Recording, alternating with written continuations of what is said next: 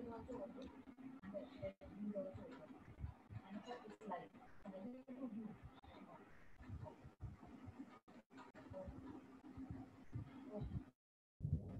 evening, everyone, and welcome to the AIOS Scientific Committee Cornea Case Files International Stars.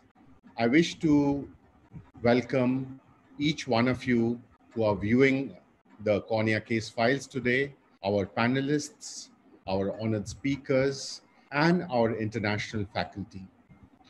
So I'd like to introduce to you our wonderful international faculty and the first is Professor James Chodosh, Associate Director, Infectious Disease and Vice Chair of Education, Harvard Medical School, Boston, USA. Dr. Chodosh is a clinician scientist, internationally known and respected for his molecular virology, the viral genomics, viral pathogenesis, in addition to serving as Associate Director of the Cornea Surgery Services he directs Boston Keratoprosthesis Program and serves the chair for ophthalmology education at medical school and associated chief of ophthalmology education at Mass Eye and Ear Institute. His clinical interests include ocular infections, chemical burns, Stevens-Johnson syndrome, and keratoprosthesis surgery. Welcome, Professor James Chodosh. I have great honor to also introduce Professor Elmer Tu, Professor of Clinical Ophthalmology, Director Cornea Services, Illinois Eye and Ear Infirmary. Professor Tu specializes in infectious diseases of the cornea, is widely viewed as uh, his expertise in the diagnosis and treatment of acanthamoeba and other severe infections of the cornea. Professor Tu's area of expertise also includes new and innovative forms of cornea transplantation and treatment of challenging ocular surface disorders. I have great pleasure to introduce our own Professor Mahipal Singh Sachdev, President AIOS, Chairman Scientific Committee of IRSI, Chairman and Managing Director of Center for Sight, Group of Eye Hospitals. I have the great pleasure of introducing Dr. Quresh Maskati of Maskati Eye Clinic, a cornea specialist, past president of All India Ophthalmological Society, Maharashtra Ophthalmological Society, and Bombay Ophthalmologists Association. Dr. Virendra Sangwan is Director Innovations of Dr. Shroff's Charity Eye Center, New Delhi. Thank you, sir, for coming on. Professor Jeevan Singh Titiyal, Professor and Head of Cornea Cataract and Refractive Surgery Services at RP Center, Ophthalmic Sciences, AIIMS, New Delhi. Professor Namrata Sharma, Secretary AIOS and Professor of Ophthalmology, Cataract, Cornea and Refractive Services, Dr. RP Center for Ophthalmic Sciences, AIIMS, New Delhi. And I request our President, Professor Mahipal Sachdev, sir, to welcome each one of you.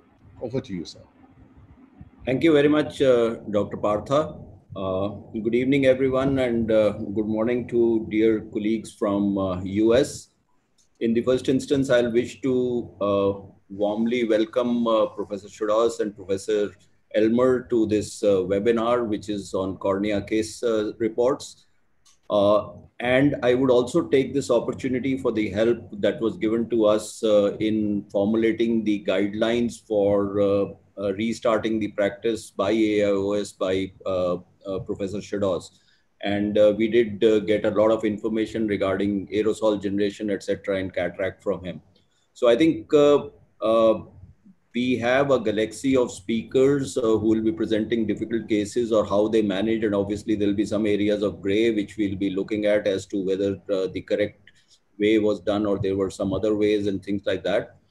And i think the panelists are all great cornea people and uh, having uh, subsectional specialty wise uh, case reports is something that Partha has brought about uh, in this uh, particular webinar, which uh, he hopes to continue going on to further such case series.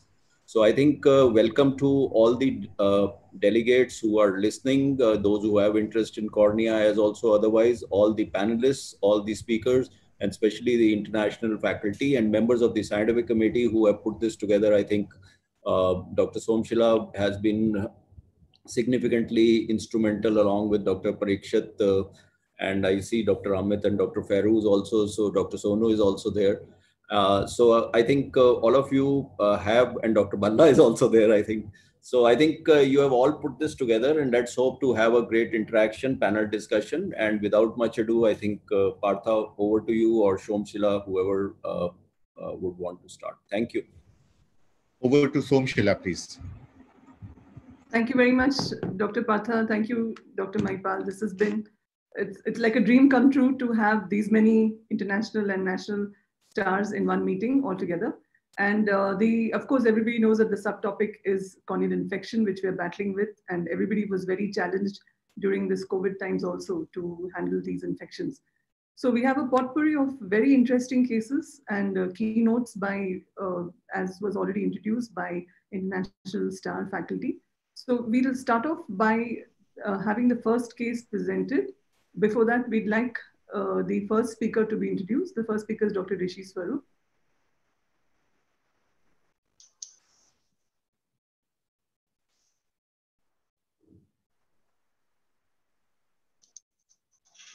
Uh, good afternoon. Dr. Rishi Swarup needs no introduction. So he's a young star himself, and he's a medical director and chief surgeon at the Swarup Eye Center, Hyderabad.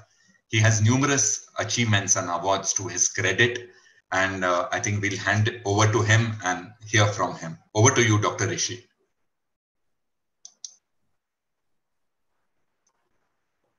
Thank you, Dr. Parikshit. At the outset, I'd like to thank uh, the AIOS Scientific Committee and particularly Dr. Somasheila for involving me in this um, first webinar from the Scientific Committee and um, it's good to be in such august company. Um, I'll just get started with my case. So uh, it's an interesting case which I had managed a few years ago. And uh, Dr. Somasheila wanted me to present a case on this topic, so I selected this one.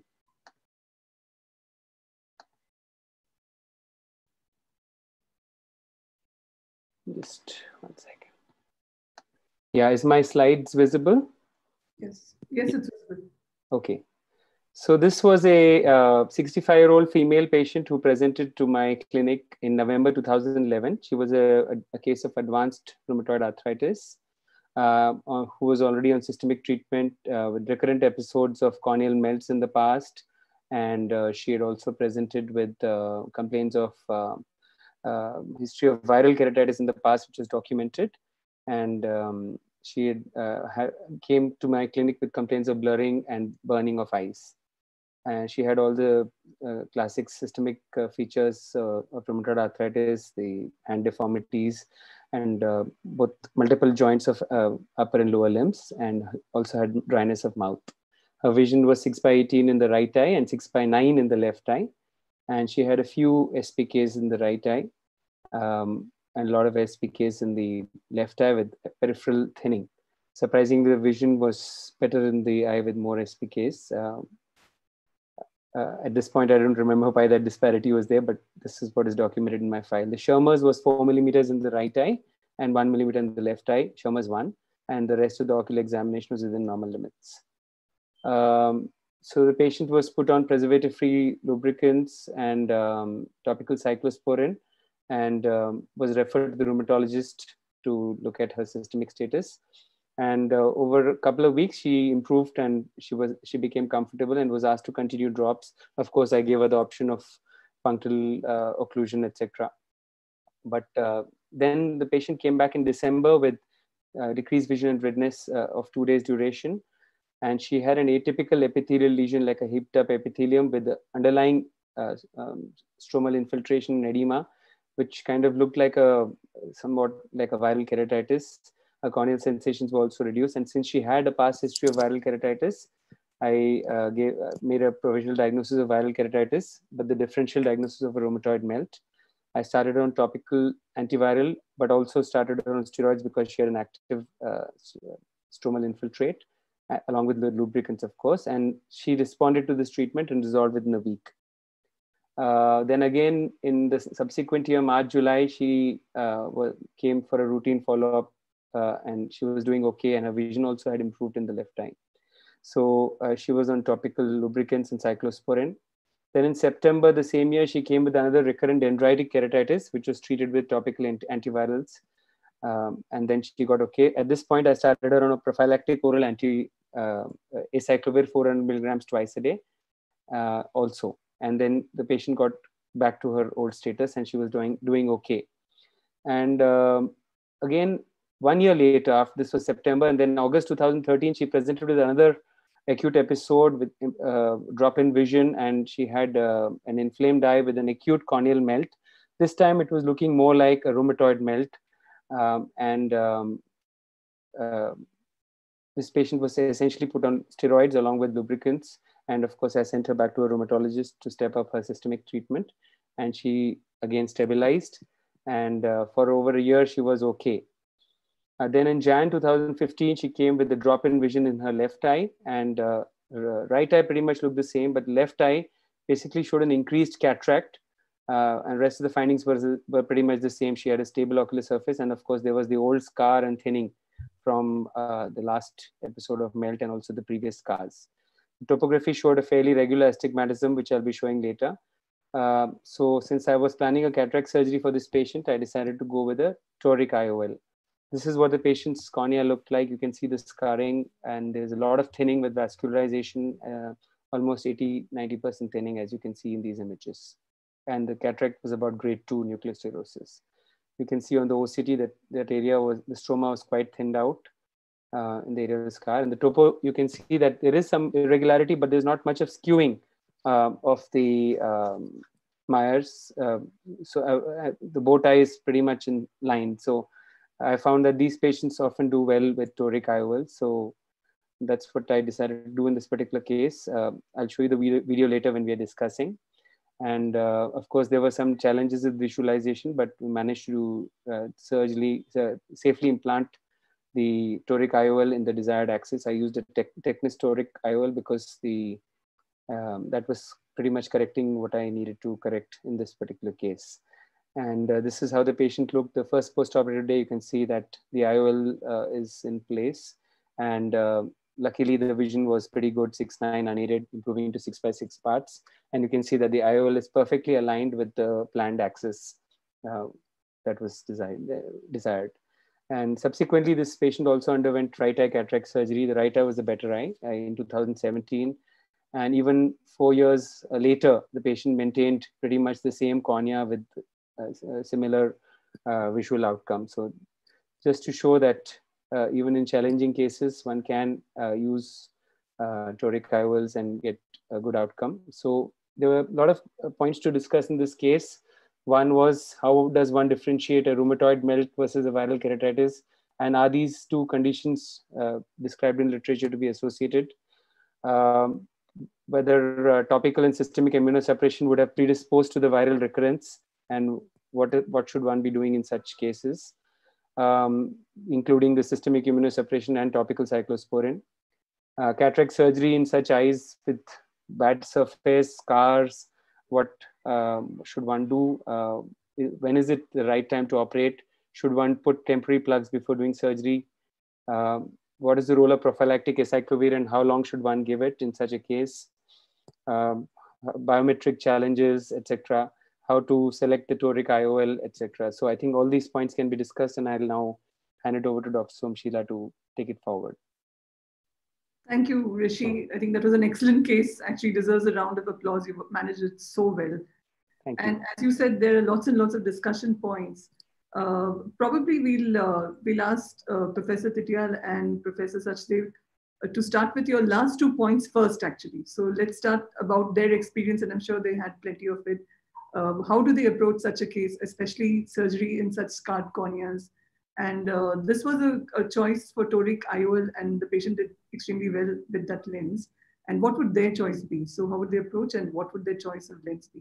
So, either Dr. Titiyal or uh, Dr. Sachdev. I'm just going to let the surgery video run in the background as we discuss. Yes. yes. Okay. Uh, so, basically, I think uh, mm, I would uh, beg to differ slightly as regards the choice of uh, a toric intraocular lens. Uh, Rishi has been uh, uh, reasonably lucky that there has been no recurrence of any episode, whether of uh, the rheumatoid melt or the viral keratitis, uh, because both these diseases are known to keep on coming back.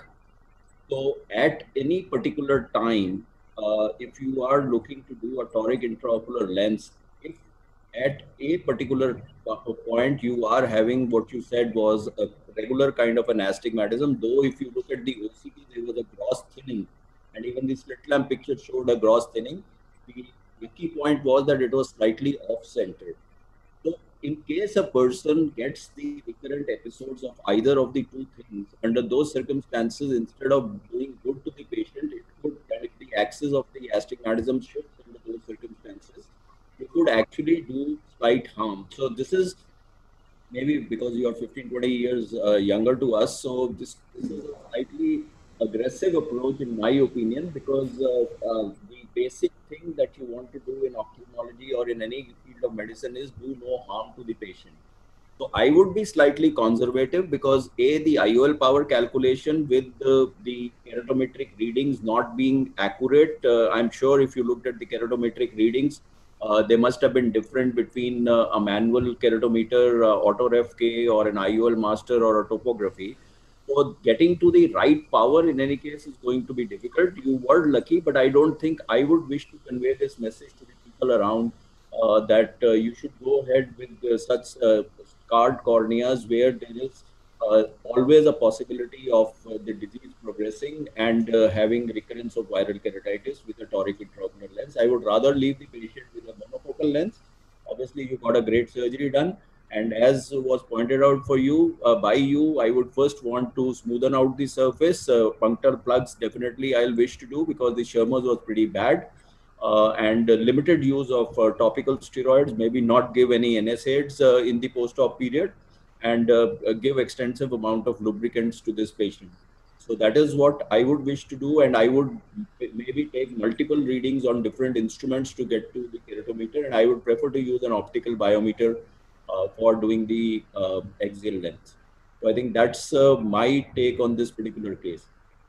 If we can just go on to Professor Titiyal, uh, since we have discussed about the surgical aspects, I'd like to actually ask you regarding two points. One is the that the patient had epithelial keratitis with HSV during the course of one of the follow-ups. And Rishi's uh, very valid point was that what is the association between the two? So could you just uh, talk about that part of this case? I think this was a little uh, uh, unusual presentation of two pathologies in a one patient.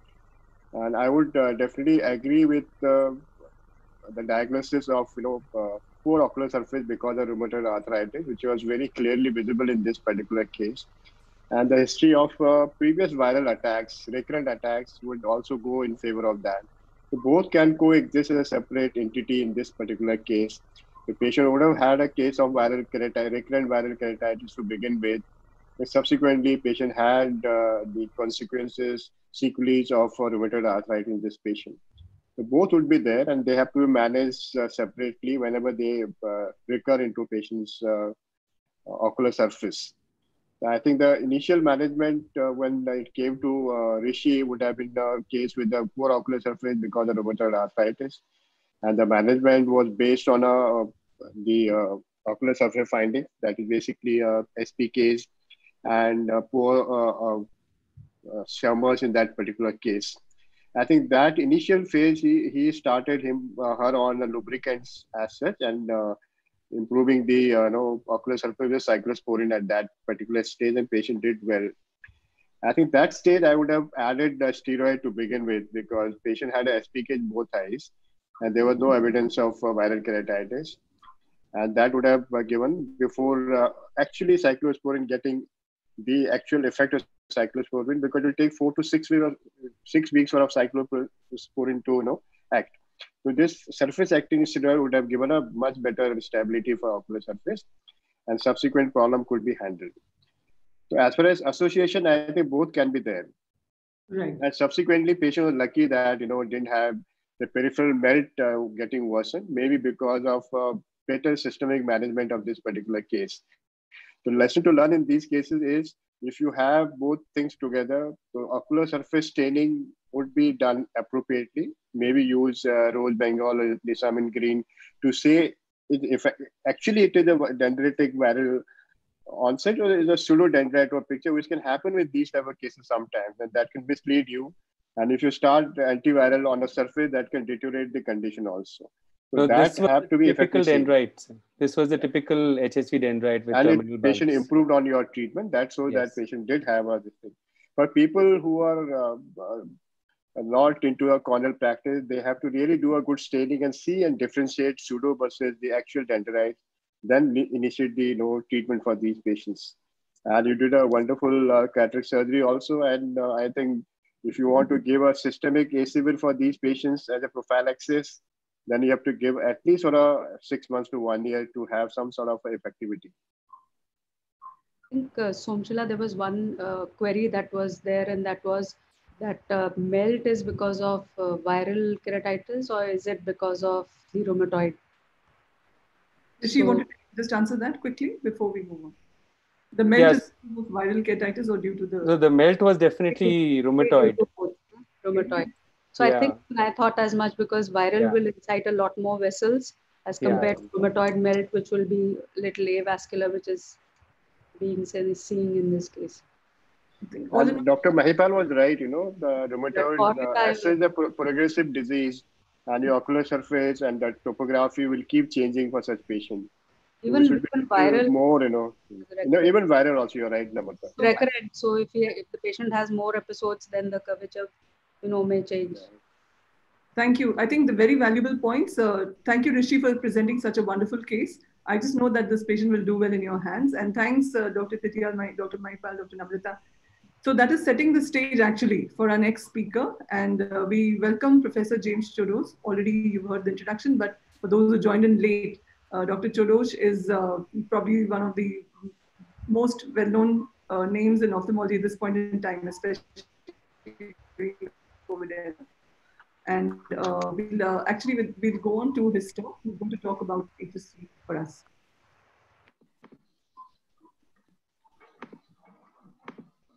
Thank you. Can you see my screen? Yes, we can. Great. So uh, thank you. It's a really pleasure to be with all of you. I wish I was with all of you in person instead of on Zoom, but this is the world we live in for the near future. So I was asked to talk about herpes simplex virus keratitis. Excuse me. Um, I have no interests, financial or otherwise, uh, relevant to this presentation. This is a case that I thought I'd start with. It's a 20 year old woman who came in complaining of a red eye and a sore throat. And this is the back of her throat, pictures that we took in clinic.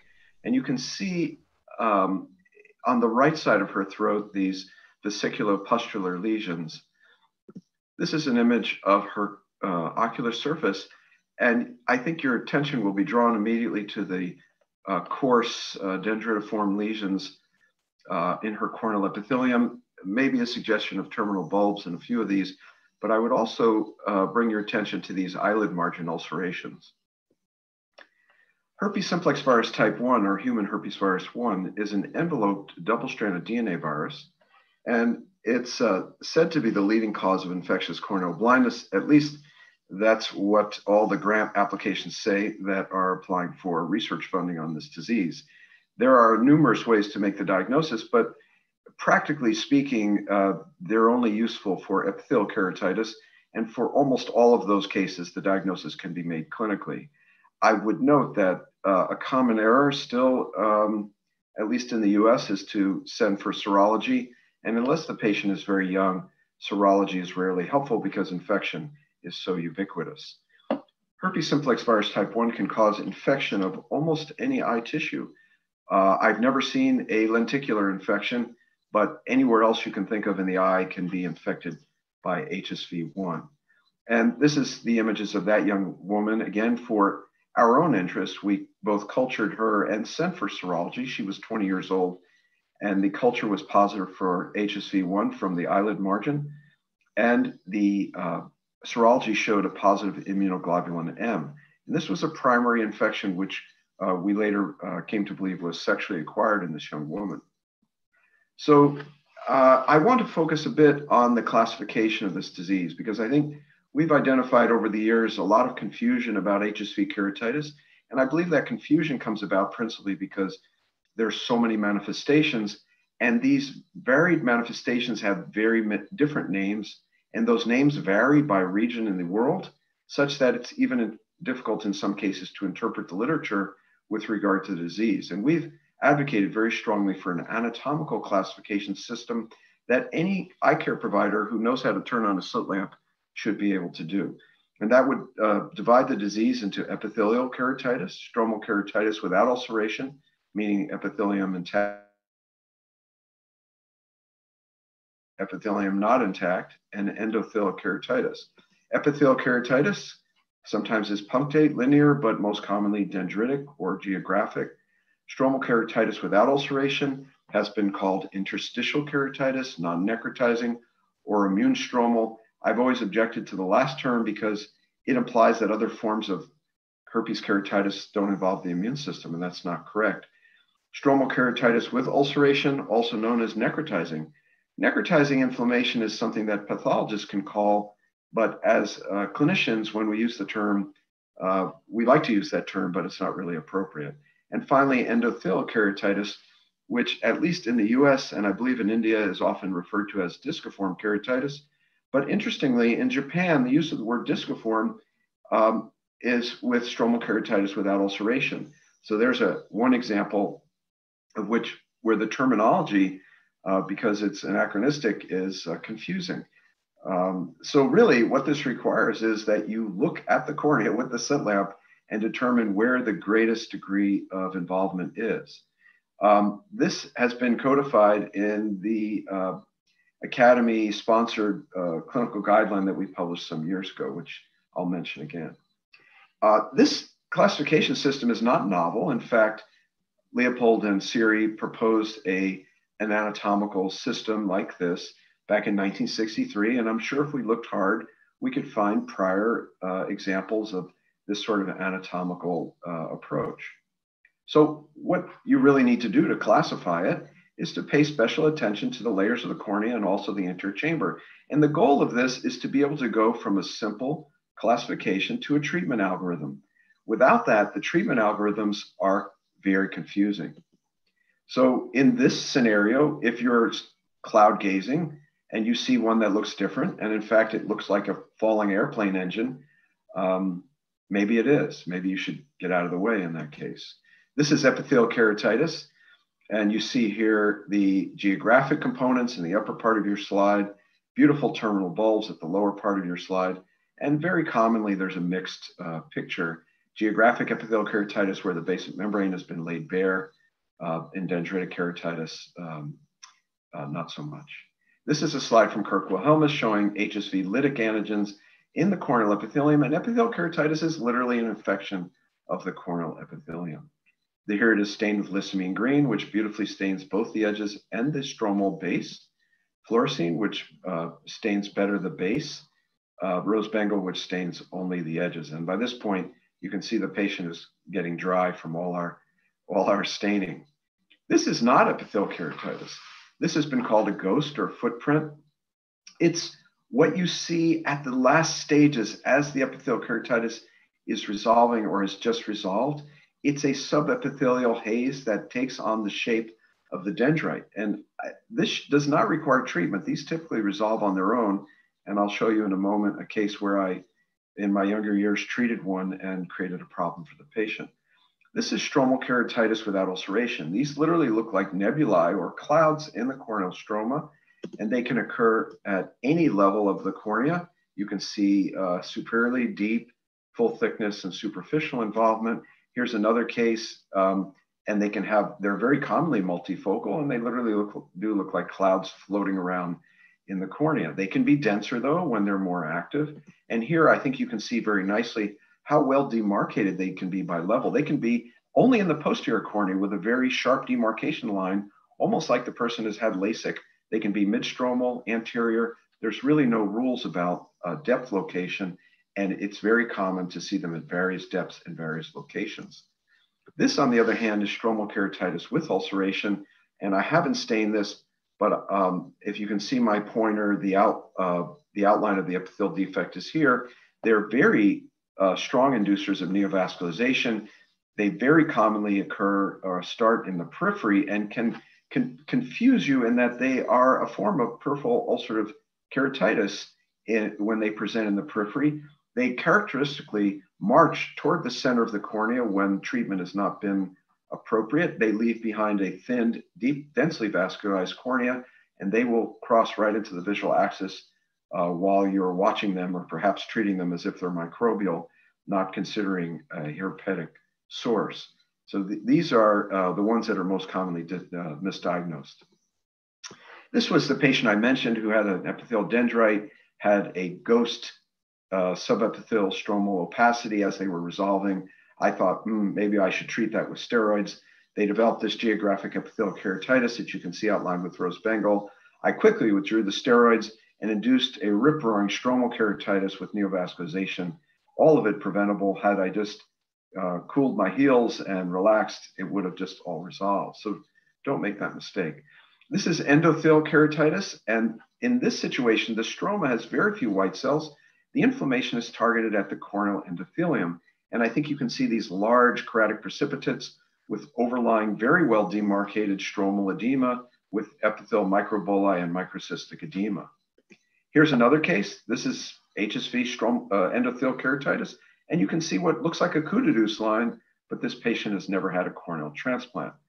Um, the problem with calling this disciform keratitis is that sometimes it's diffuse.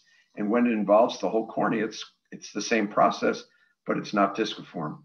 That's difficult to make the diagnosis because you can't see the anterior chamber in that case. Uh, your only clue sometimes is an elevated intraocular pressure, which would be characteristic of a herpetic infection. The reason I asked you to look not only at the layers of the cornea, but also the anterior chamber in all cases, is because you might confuse this with a keratouveitis. In keratouveitis, the inflammation is targeted at the uvea, and you get spillover with a bathtub ring of precipitates on the cornea. But the anterior chamber response is the major site of inflammation. So you will have two to three plus cell in the anterior chamber and some keratic precipitates.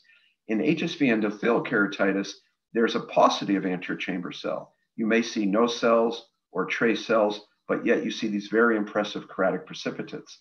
And that's how you make the diagnosis of endothelial keratitis uh, as compared to a keratouveitis with uh, endothelial keratic precipitates. Okay, there are some special considerations in HSV keratitis. There's atopy. It's said that HSV is more common in, atop in atopes, more likely bilateral, and more likely recurrent and harder to treat. And all of these are based on case series, um, but I believe them based on my personal experience.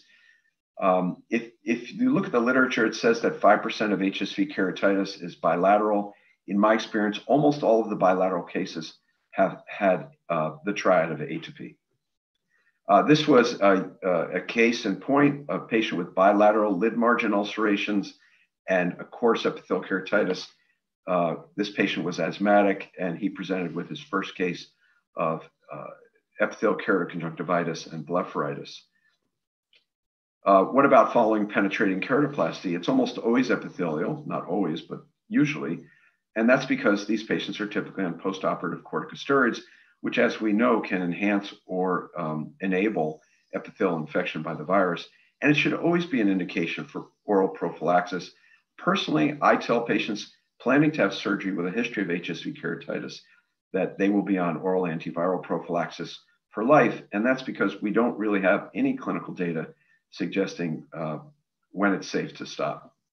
This is a patient, Elmer will uh, recognize this slide. It's from the Bascom Palmer slide set. It's a patient with a corneal transplant on corticosteroids who developed a uh, largely geographic but partly dendritic HSV epithelial keratitis stained here with rose bengal.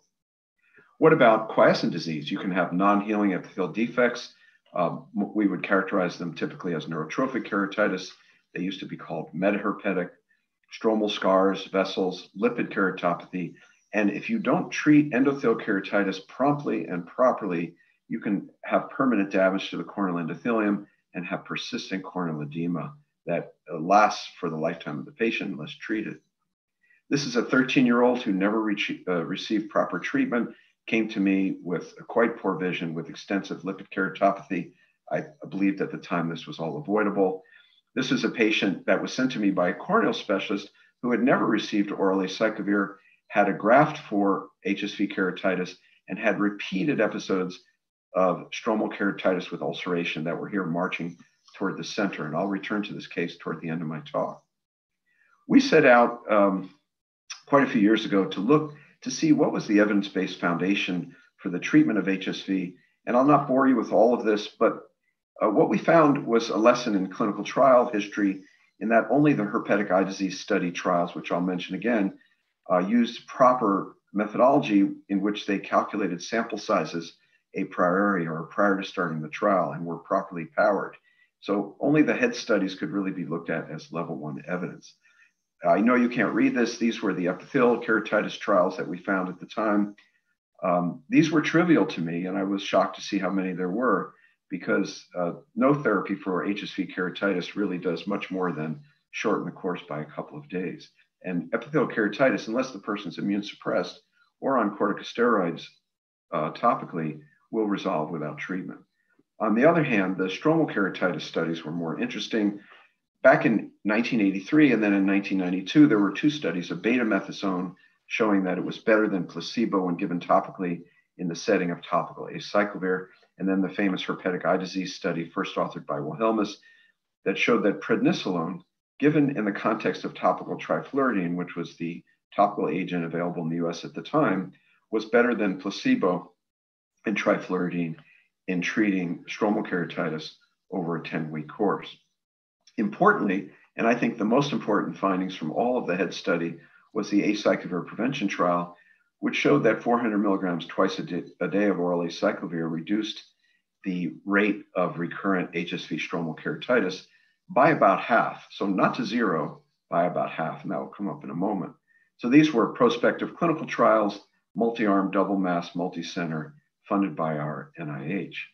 And you could summarize them as saying for stromal keratitis, corticosteroids treat and acyclovir prevents.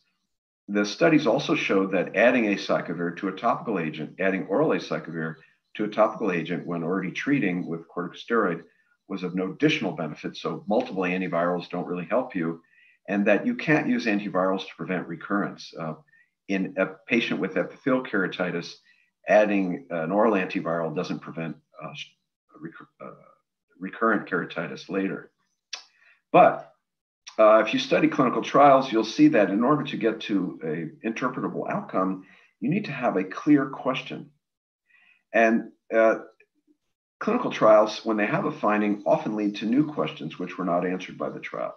So we learned that topical steroids with a prophylactic antiviral work for stromal keratitis, and that oral acyclovir is no additional benefit when treating topically with an antiviral and a corticosteroid. But the question comes, remains, would there be an advantage to use of an oral agent instead of a topical agent for stromal keratitis when treating with corticosteroid? We know that long-term acyclovir reduces the rate, but we don't know who should receive it, and we don't know how long, as was mentioned.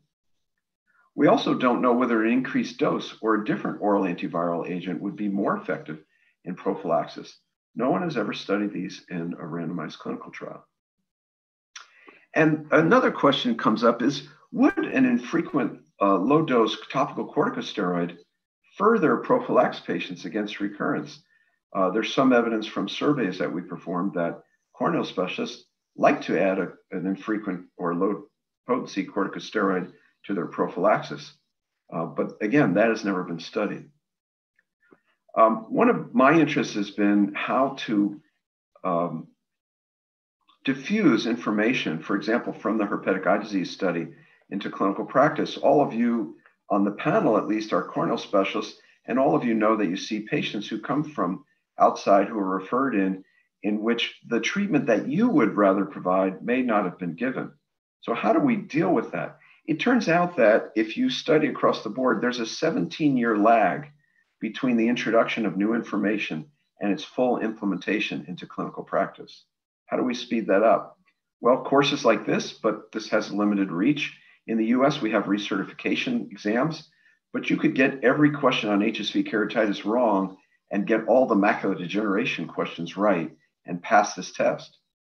We have in the US scope of practice restrictions telling uh, what specific eye care providers can and cannot do, but these are regressive and haven't been shown to actually improve care. In some cases, they restrict bad care, but they don't seem to be improving care.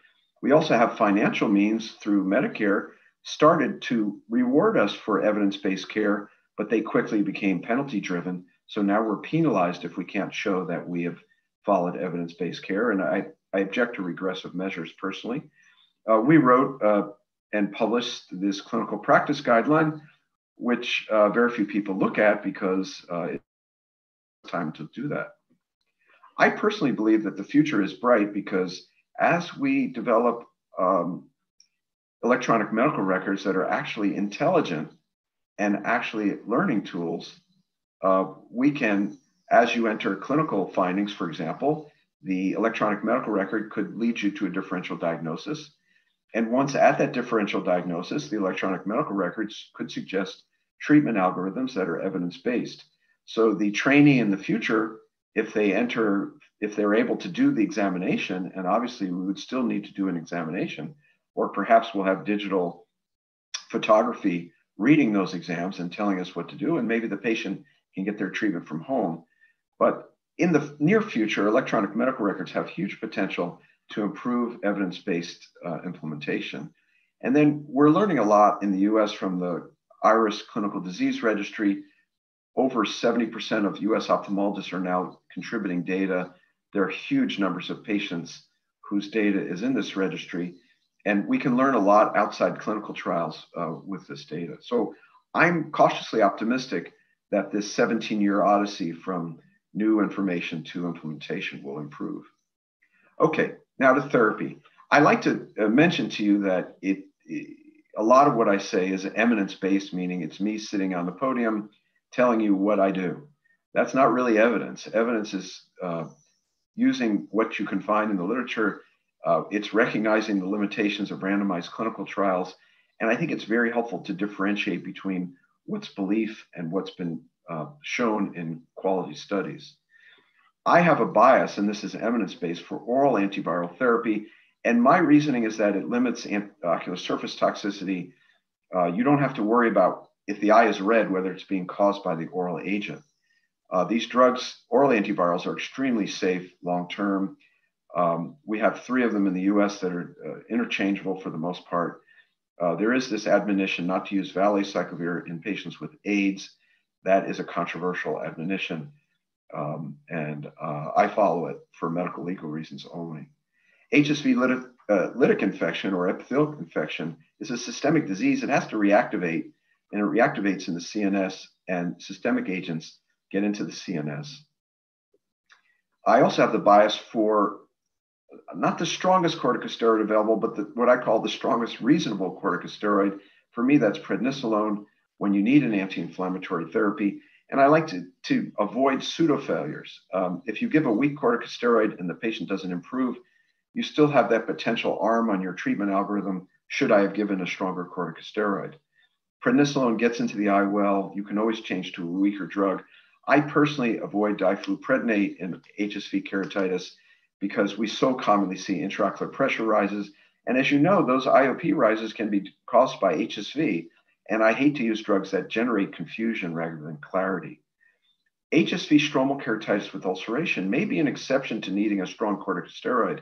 I have many patients that, after uh, starting them on an antiviral, and I'll show you that in a moment, I give something like fluorometholone once a day, and their epithelial defect and inflammation clears within several days. It's quite dramatic.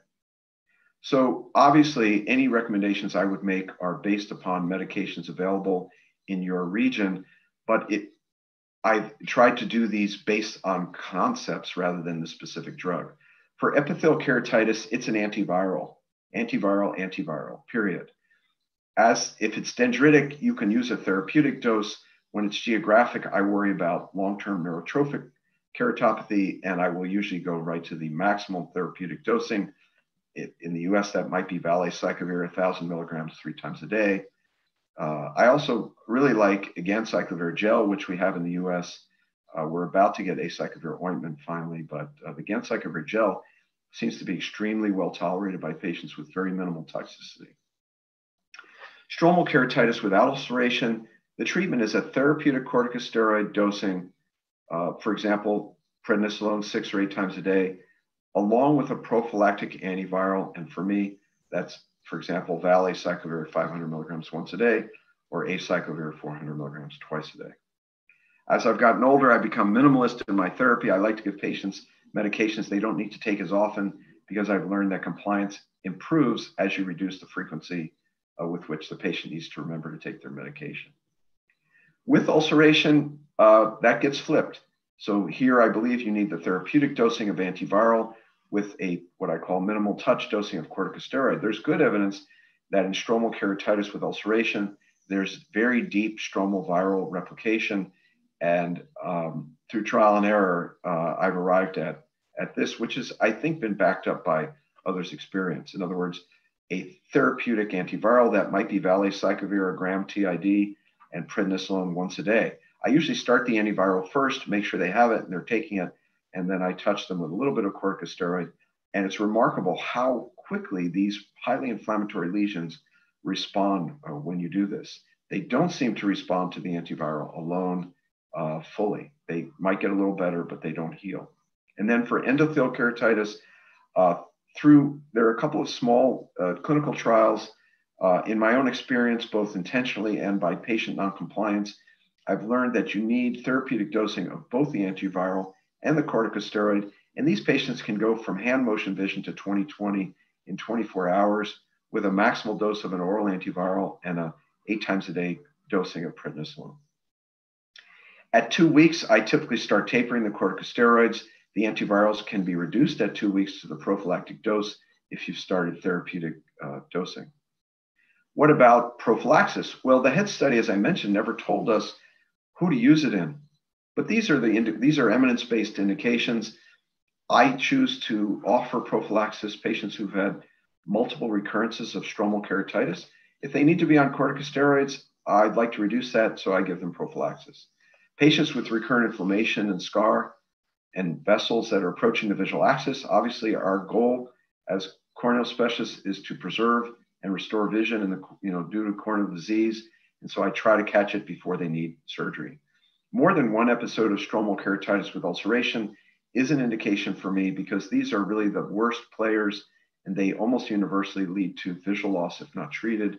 And again, I'm very aggressive about using prophylaxis in patients who are having keratoplasty. And for me, very simply, uh, I like the once a day dosing that I can do with valacyclovir. I increase the dose uh, if they break through, and I also use more in atopic patients because I believe that more is required, but that's eminence based. There's no hard evidence for that in a clinical trial. So I just wanted to finish up with two cases that I thought you might like. This is a patient I showed before. He was a young man sent to me by a corneal specialist. The corneal specialist told me he had treated the patient with oral acyclovir, but the patient said that he had never taken a medication by mouth ever. Uh, I believe the corneal specialist was just covering his uh, failure. Uh, he had a corneal transplant for herpetic eye disease, uh, was having trouble wearing a contact lens consistently because of recurrent episodes of stromal keratitis with ulceration, and he was 2400. We placed him on oral acyclovir as prophylaxis, uh, stripped the pannus, and here he is, went back to 2040 vision with his contact lens and was happy. So it was fairly simple. This is one of my favorite cases. This is a this was a, a, dentist who had been on disability for 10 years. He presented to me and said, I don't want surgery. I want to know, can you do anything for me that doesn't involve surgery? I have burnt out herpetic eye disease. And you can see something, there's a finding here which we don't see very often, but it's a posterior collagenous layer like we're taught to see in syphilitic keratop, keratitis, where you get these sort of cracks in Descemet's, very characteristic. This is not corneal, this is not, that these are not Descemet's folds. And you see this opacity at the posterior cornea. And it's a layering of extra basement membrane by a metaplastic corneal endothelium. And you can see the cornea is swollen. He's 2400. And because you can never tell at first visit whether a patient has active disease, really, I place the patient on acyclovir 400 milligrams twice a day and prednisone uh, eight times a day as a drop and asked them to return in two weeks. Here he is two weeks later with 20/40 uncorrected vision, and he went back to work as a dentist. Now he had his depth perception back. So uh, that's really all I have. And I thank you so much for your attention. And I'm happy to answer any questions that you might have. Thank you very much, Professor Chodosh. I think that was a very, very illuminating talk on the entire spectrum of HSV. And a lot of questions that we had in the chat were, were actually related to treatment as well. So uh, most of the questions have been answered by the panelists. But uh, I think one, I'm not sure if the panelists uh, selected the option of uh, answer to panelists and attendees. We selected for everybody. That's the. No, but I think I have one question, and I think lots of other people have asked also the same. Dr. Chodosh, for how long maximally have you given uh, valacyclovir or acyclovir for prophylaxis? It's an important question, and the question. So the answer, the short answer is, uh, I have patients who've been on uh, for their adult lifetimes. Um, I acquired the practice of uh, Debbie Pavan Langston, as who many of you know, uh, had a 50-year practice treating viral keratitis, and all of her patients were on had been on oral prophylaxis, many of them for over a decade, and I chose not to turn that apple cart over. It's it's very hard replacing Debbie Langston because to her patients she was a god, and you don't overrule God. Um, I am interested in the work uh, by Verjans from the Netherlands that suggested that in some patients with recurrent epithelial keratitis, they believed that they could show the emergence of a resistant virus. Uh, I had some concerns about the technical methodologies they used to come to those conclusions. And uh, most of my patients on prophylaxis don't have recurrence. So I'll leave that as it is. But these drugs are extremely safe. I do ask and look at the uh, renal function in all all my uh, older patients on long-term prophylaxis uh, once a year. Most of them in the U.S. are having a chemistry done once a year anyway, and it's available to me in their medical record. And so I pay attention to that. But outside of that, and the, the theoretical concern of resistance, uh, it seems to be very, very well tolerated. So uh, you know, I used to tell the residents it's one of the five safest medicines, and then a wise guy resident said, "What are the other four? Um, you know, literally, acyclovir could be given over the counter, uh, and it would meet safety profile for that. Um, so the bottom line is, when the HEDS study completed, when they took patients off the acyclovir, they followed them for an additional six months, and their rate of stromal keratitis went back to what it was for patients who were on the placebo arm. So at least for that length of time, it didn't have an effect beyond when the drug was stopped. The, uh, so uh, one more request to all the uh, participants, the, the attendees, is to post your questions to everyone so that everyone else can also see them. Uh, more, many of uh, the attendees have asked the question about acyclovir, and many of the panelists have been replying to them already. But a couple of questions that uh, Dr. Chodosh, I still think that you should answer. And I heard in your talk, you said that in epithelial keratitis, uh, you don't use any treatment or it's not necessary. Is that correct? No, uh, no, I do treat epithelial keratitis because it does shorten the course. Uh, my point was there's been a lot of research looking at drugs for the disorder and it's a common epithelial keratitis due to HSV is common, but it's rather disappointing when you realize in the studies that the treatment course has only reduced the uh, length of the course of pain and discomfort and poor vision by several days, you know, 20 to 30% at best. So, um, in contrast, uh, the blinding diseases have not been as extensively studied. Epithelial keratitis in a normal, healthy human being is not a blinding disorder. It typically resolves without sequelae. Although I have seen patients with many, many recurrences who over time start to develop some scarring and perhaps some astigmatism. So for me, epithelial keratitis is a relatively trivial problem that is easy to treat and has a defined outcome, which is recovery of vision. Whereas the other forms of herpes keratitis, if not treated properly, will lead to visual loss um, and are, are not recoverable if not treated well. So uh, I couldn't get Dr. Quresh Maskati's question. Dr. Maskati is asking whether you should do debridement manually. So the evidence, the trials in debridement are old and were not, you know, randomized. Obviously, um, they, they were not um, they were not terrific, and they showed a very marginal effect. Um, I will mm. share one anecdote from my friend Todd Margolis, who uh, is very knowledgeable and experienced, who says that for epithelial keratitis, uh, when he's sure of the diagnosis, he debrides and places a, an eye patch overnight. Herpes simplex virus doesn't grow well at body temperature. It grows better in the somewhat cooler ocular surface. So the surface temperature of the corneal epithelium is below uh, is below body temperature. And uh, it's known to herpes virologists in the laboratory that you like to grow them at 34 degrees rather than 37 degrees. So um, he has found uh, what he says it works perfectly, and the next day the problem's resolved. I've never tried that, um, uh, but that's what Todd has relayed to me. So I, I don't know that debridement, which again can create uh, more discomfort because you've created a larger epithelial defect. Uh, if you have personal experience with it, there's there's no, it's not certainly contraindicated, um, and it's been published. The studies didn't really show a very um, significant effect. So I have one question, uh, Dr. Chodosh. Acyclovir has been recently approved in, by the FDA. Not recently, but you know, uh, uh for us we had it all along. But uh, you were not using acyclovir; you were using ganciclovir. You think there's any difference between the two? as far as the outcome is concerned? So, um, from what I understand from my friends and colleagues, acyclovir ointment has some tox- surface toxicity. Um, the ganciclovir gel, I'm only speaking from one-sided personal experience, has very minimal surface toxicity. I can't really tell you that one is better than the other.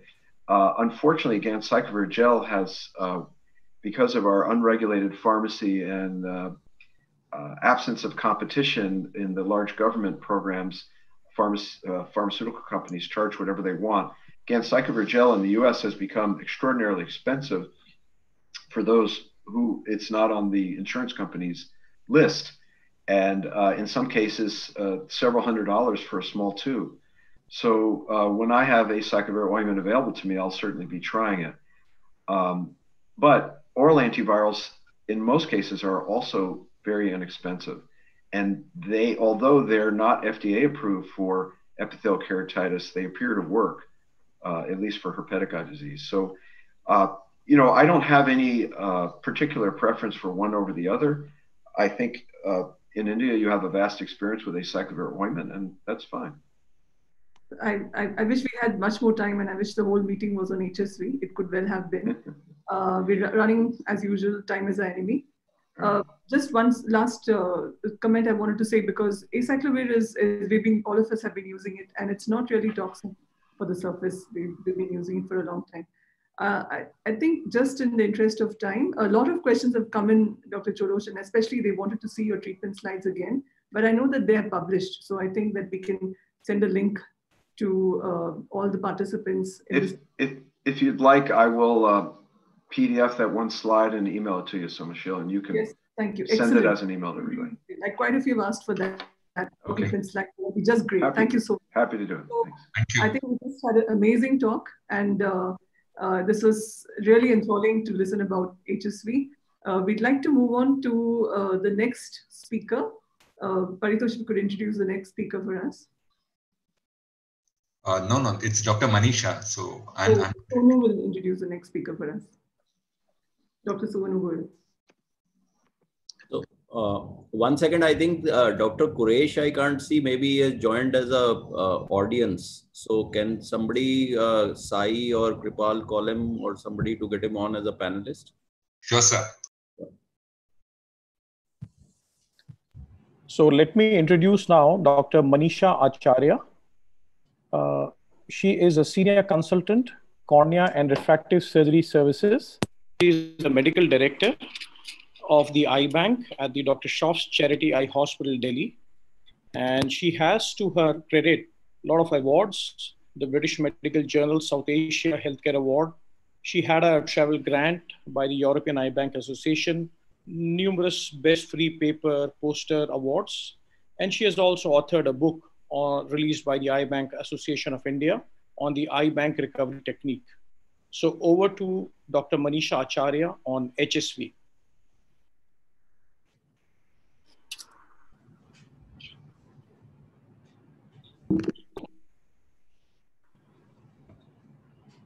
Thank you very much. I'll start my uh, screen share.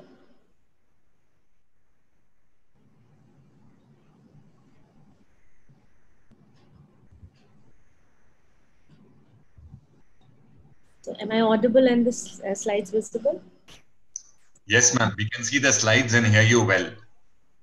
Thank you. A very good morning and very good evening to respective uh, participants and uh, the esteemed faculty. Uh, at the outset, I want to thank the uh, Scientific Committee AIOS for making this possible. And it's a great scientific fiesta, especially Dr. Somasheila, for all the efforts you've put in. And it's very difficult to speak after uh, Professor uh, Chodosh, but I will try to present two cases which I have managed in my practice. So HSV, we all know that presents uh, maybe like an epithelial dendrite to potentially blinding necrotizing stromal keratitis. So we've seen all the, the presentations in the previous uh, uh, presentation. So uh, this 13-year-old child presented with complaints of diminution of vision and pain uh, and redness in left eye for the past three months. The symptoms had subsided with treatment with oral and topical acyclovir. I'll do that. i done. Uh, okay. Can you see me now? Following discontinuation. On examination, the right eye was essentially normal, but the left yes, eye had. I wasn't speaking. I said, why, why disturb people with my video? And, uh, mute your mic, please. Yeah. No mind. Admin, can you mute Dr. Dr. Maskati? So the corneal involvement actually showed these multiple epithelial bullae in the center. You can see that disc which is forming with the stromal edema. But there was anterior stromal infiltrate which was measuring around 1 to 2 millimeters and keratic precipitates which were present on the endothelium. So we started this patient on acyclovir five times a day and prednisolone eye drop four times a day with homatropine and, and a tear substitute for four times a day. A corneal scraping was done from that area which was having an infiltrate which was denser. The smear examination was essentially normal. And, but Giemsa uh, uh, staining showed multinucleated epithelial cells going more in favor of the viral uh, etiology which we were suspecting from the beginning. The RT-PCR for HSV1 and 2 was uh, negative. The reports definitely came a couple of days later. Six days later, with the treatment, the patient had a mild response. So we stepped up the steroids further to six times a day and continued the rest of the treatment. By 10 days, the patient was improving, uh, and by three weeks, the patient had significantly improved with clearing up of the edema. The acyclovir tablet was then reduced to two times. Prednisolone eye drop uh, was uh, continued in tapering dosage now, and CMC again continued. Six weeks follow-up, the patient doing much better and was then continued on prophylactic oral acyclovir 400 milligram twice daily uh, and was uh, show, asked to follow up three monthly. The patient did well with this uh, prophylactic dose and was quiescent for six months. But despite being on this prophylactic acyclovir, the patient again presented with this epithelial uh, dendrite. It was started on the uh, topical antivirals and did recover. I'll take you to another patient, which is, was a, was a 46 year old male and had this very classical geographical ulcer, was started on acyclovir ointment five times, a homatropine and a CMC eye drop. One week post-op, the patient had started to uh, definitely respond with blunting of the edges of the uh, ulcer and uh, was continued on the same treatment. But two weeks later, there was this deep infiltrate which has come up, which was not there previously. And with that, there was this dilemma which came up. Are we dealing with stromal necrotizing or a stromal keratitis, a combined association, or a superadded infection? For this, we did scraping, which turned out to be negative for bacteria or fungus. And we stepped up our treatment, start adding oral acyclovir five times a day, and uh, along with the topical, which is already on, and also added steroids in the form of prednisolone eye drop four times a day. And within a week, the patient started to respond. At that point, we reduced the steroids and tapering dosage and also the oral acyclovir to two times a day. The uh, prednisolone was also put on tapering dosage and a very slow tapering dosage. And later on, the patient was continued on low dose uh, steroid, which is a load in a form of Lodex, which we get in.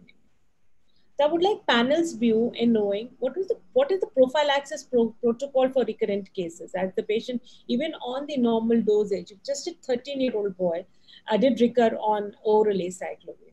And also your call on long-term topical steroids or anti-inflammatory therapy in recalcitrant cases. So thank you very much for the opportunity. So I think you wanted me uh, and uh, Dr. Sangwan to comment. I'll jump in. So the first case is interesting. That's a, certainly an unusual presentation. I think you did the right thing by culturing the patient. It almost looked like a Wessely ring uh, on that first presentation. I was wondering about the diagnosis. Uh, I think in retrospect, you got it right. The patient improved dramatically on uh, without without the presence of antimicrobial therapy. Uh, the issue in a 13 year old is clearly uh, the first issue is compliance. The second issue, uh, which can be poor in 13 year olds, the second issue is uh, that I didn't have time to go into is that herpes uh, keratitis in children and adolescents is really a different beast than in adults. I think that's probably due to the levels of stress hormones that we have in children and adolescents and it's been my experience that it's much harder to treat. In adults, it's generally a straightforward treatment course once you get to the diagnosis. But in children, it can be very tricky. And they can do exactly as you saw. They present with stromal disease. And then while you're treating them, they develop epithelial disease. And then when you reduce the steroids, their stromal disease worsens. And it's just a challenge. The second case, I was looking at and wondering, as you did, could this be something else? I think uh, stromal keratitis with ulceration, um, unless you have a really strong history and you know exactly what it is, um, should you should culture the patient. Um, and in our practice, we if we're very suspicious of herpetic disease, we may still go ahead and give antimicrobial therapy with an oral antiviral while holding the corticosteroids. Uh, you know, you said it right. Was it a superinfection or was it uh, stromal keratitis with ulceration. And I would say uh, it's not clear to me uh, at onset which it was.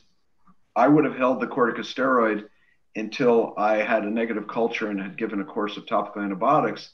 Uh, but that reflects my general cautiousness, not necessarily uh, right or wrong. So um, these are hard cases, uh, particularly. always think about compliance, and in young people, as well as atopes. And I probably should add a slide to my talk for uh, HSV keratitis in children and adolescents, because I think they require higher doses of antiviral uh, and very, very close follow up. Virender. Um, well, I think Jim, you covered most of the things, and Manisha, congratulations for managing these two very difficult cases. You know, in adolescent or young uh, kids, the um, HSV keratitis can be very, very atypical. I had a bilateral, almost like an endophthalmitis kind of a presentation um, many, many years ago. And when we cultured um, it and on microbiology, it found to be um, mm, HSV, then we treated with systemic steroid, systemic acyclovir, and recovered well. The question about prophylaxis and getting a breakthrough attacks is, you know, as Jim said, only recurrence reduces, but it does not eliminate completely. So therefore, the recurrences or you know breakthrough attacks are likely to happen in some patients. Second, long-term use of low-dose topical steroids. You know, virus gets addicted to these steroids, and they need some uh, dose of topical steroids to keep the inflammation down, keep the virus happy. And uh, mm, in many patients, I would continue very uh, low dose topical steroid on daily or alternate basis. Thank you very much, uh, Dr. Chodosh. Just one point. Yeah, just one point. Uh, Dr. Chodosh, uh, would you increase the dosage of the uh, prophylactic uh, antivirals? In- yes. So is that because you feel that uh, it's not adequate? That's the reason why. So if uh, in the HEDS study, acyclovir was given at 400 milligrams twice a day, and that dose, I believe, was chosen because it's a standard prophylactic dose for vaginal uh, recurrence. That those are very different diseases. Um, and my personal experience is and practice is that when a patient breaks through prophylaxis, I consider increasing. So instead of, for example, if they're on BID dosing, I might go to TID, or I might go to 800 milligrams twice a day instead of 400 milligrams. Um, and in children, I use higher doses relative to body weight than I might in adults because of this idea I have that it has something to do with stress hormones that are so powerful in uh, children. You know, a child can go, uh, a young child can go from laughing hysterically to throwing a, a temper tantrum. Their, emotions and uh, stresses clearly are extreme. Um, and I think that has something to do with the problem. It also could be that their immune systems are so robust and that some of the manifestations we're seeing are related to a better immune system than, than uh, Dr. Sangwan and I have at our advanced age. so um, I, you know, I, I don't know. These are all things in my mind, uh, but they may be all false. But yes, I do use higher doses per weight in children. And yes, when I have a patient who breaks through with a visually significant problem, I increase either the frequency or the, the dose. Thank you once again. Uh, thanks for presenting such excellent cases. It's uh, such an exhaustive collection that you have of these cases and all interesting spectra. I limited you to presenting only these two, but everything was very good. And very nicely presented. Yeah. Yes. Thank you, Professor, for joining us and taking out this time. Uh, I know it's very early for you, and we really appreciate that. And thanks, Dr. Salman, for your valuable comments as always. Uh, I'm pretty sure that there are lots of unanswered questions, but time is an enemy and it's chop chop. So we're going to move on to the next segment of this, uh, this uh, series. And I request Paritosh to just cue in the next speaker. Uh, it's the Dr. Professor Elmer Tu.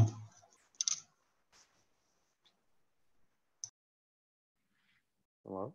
So Professor Elmer Tu is going to uh, give us a talk on acanthamoeba, which yep. I actually keyed him in to, to tell us about what, what do we know and, and I've called the bug a very bad bug. So let's see what he has to say about it.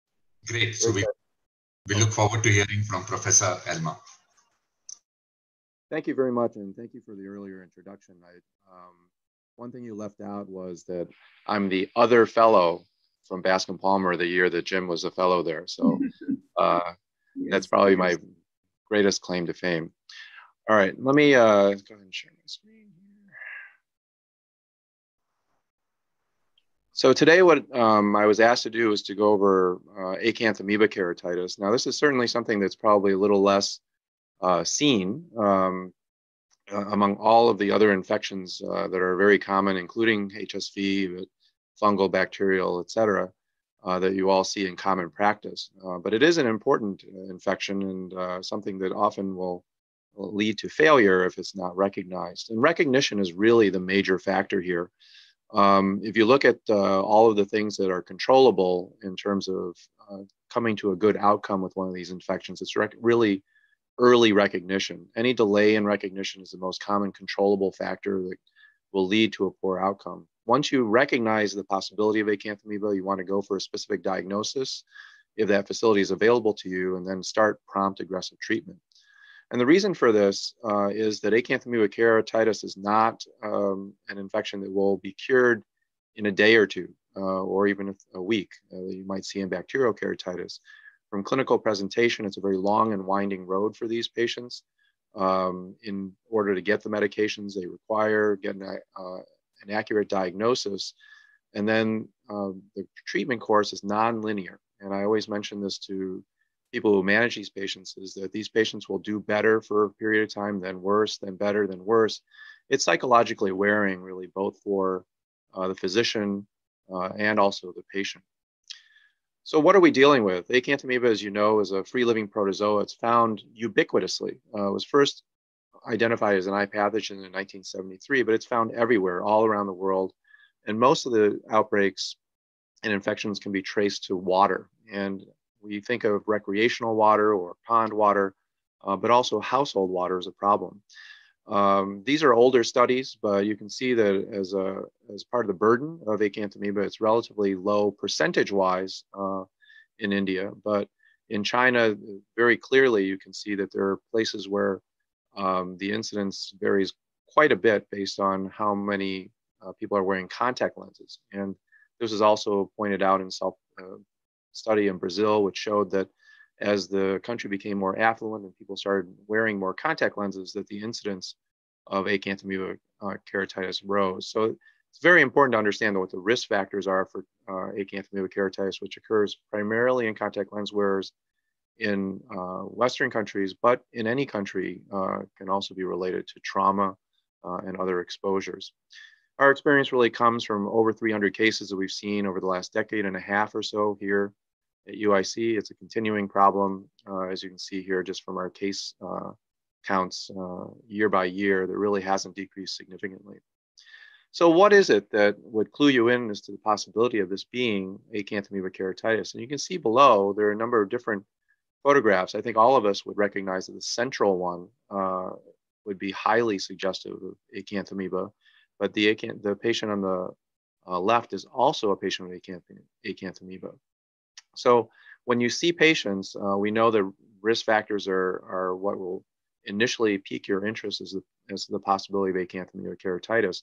Contact lens wearers, uh, as I've already mentioned, uh, soft contact lens wearers and rigid lens wearers are really the ones at most risk at about uh, approximately the same risk. As orthokeratology becomes more popular, uh, this has also been a risk that we've seen here in the US, and we have a paper uh, that's currently in press and being in eye and contact lens, which shows that even in the US, orthokeratology is a risk. So that's something that's uh, gaining increasing penetrance in India. It's something you should watch out for in these particular patients. Um, and then as Jim was talking about bilateral disease and atopes, there's actually a fairly high likelihood of a patient having bilateral disease either presenting at the same sitting or sequentially over time. So the same risk factors that the patient has at home, but probably also um, their own immune systems probably have some exposure to risk that allows both eyes to be affected.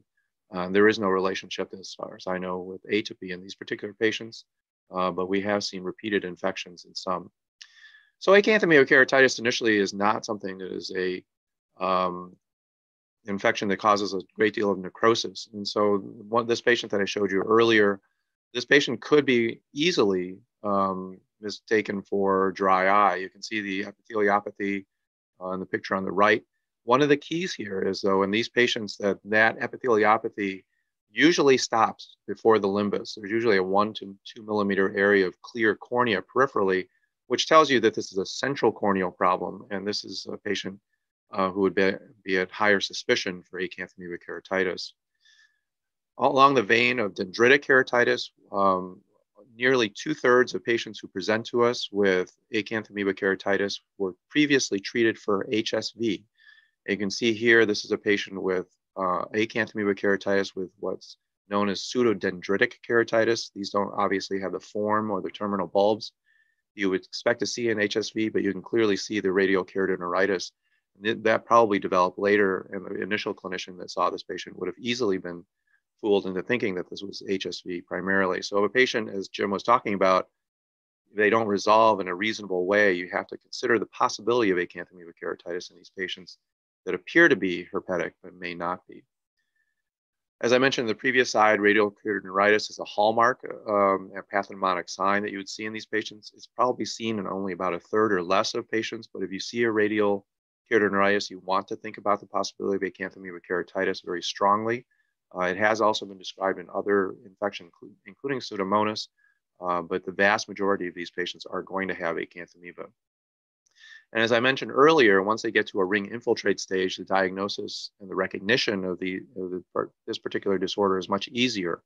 Uh, sort of classic Wessely ring with a central area of clearing, or even the deep stromal keratitis you see here on the right, again, a mimic of HSV, but in these particular patients that they have risk factors, unusual pain, uh, and some are lacking some of the uh, findings of HSV, you want to consider in these patients very strongly that they may have acanthamoeba keratitis. So it can masquerade as a dry eye, other subacute infections, including fungal infections, microsporidia, herpes, um, and the vast majority are really treated for other diagnoses prior to coming to the attention of somebody who has a diagnostic capability of diagnosing this infection. So it's absolutely critical that the clinician understand the risk factors associated with it so that you can recognize and diagnose these patients early. In addition to um, the, find, the presentations I showed you earlier, something that may be ap more apropos in your practices is that this is often a polymicrobial infection, meaning that patients with acanthamoeba often present with other infections, including Pseudomonas, fungal infections. It's been described with HSV and also other amoebic infections. So if you have a patient who is not responding appropriately uh, to the to therapy that you expect to work, you want to consider in your differential the possibility of a secondary acanthamoeba keratitis that's also present at the same time. And this has really been described throughout the history of its of its uh, of its known life of acanthamoeba keratitis ever since the 1980s. And why this is important as far as recognition is concerned, that patients do better if you get them at an earlier anatomic stage. As Dr. Chodosh was mentioning earlier, if this is something that uh, affects only the epithelium or the anterior stroma, the likelihood of a good outcome, meaning visual avoiding transplantation, is about 10 times greater than if you diagnose this at, a, at the stage of a ring infiltrate or a deeper keratitis. So it's extremely important in that sense to recognize the possibility early so that you can make the appropriate adjustments to your treatment plan. So uh, in contact lens patients specifically, if, if, uh, if they have any risk factors, just remember that acanthamoeba keratitis needs to be on your differential diagnosis list. As far as diagnosis is concerned, generally you can, in the later stages, you can diagnose these patients uh, with a ring infiltrate sort of by clinical history and examination. But in the earlier stages, you're really going to re be reliant on other studies, and that includes microbiologic methods. Uh, non-nutrient agar with Enterobacter is probably uh, the most commonly available um, media, but even then, laboratories have struggle somewhat to identify this microbiologically. You have excellent laboratories here in India, and I know that you know, even with a simple KOH prep, the sensitivity and specificity can be quite high in the 80 to 90% range. So I would definitely seek out uh, a microbiologist who is familiar with the diagnosis of acanthamoeba. Uh, and I think there is a great deal of expertise in India, probably better than here, uh, that can help you with that. Imaging, if you have it available, confocal microscopy, I think is now proven to be a very useful adjunct. Um, but it's very important really to try all avenues of diagnosis because very often you'll only find one of these to be positive, uh, but that will make the difference in your patients uh, in terms of uh, their prognosis. As far as molecular diagnosis, uh, this is becoming better and better each uh, with each passing month.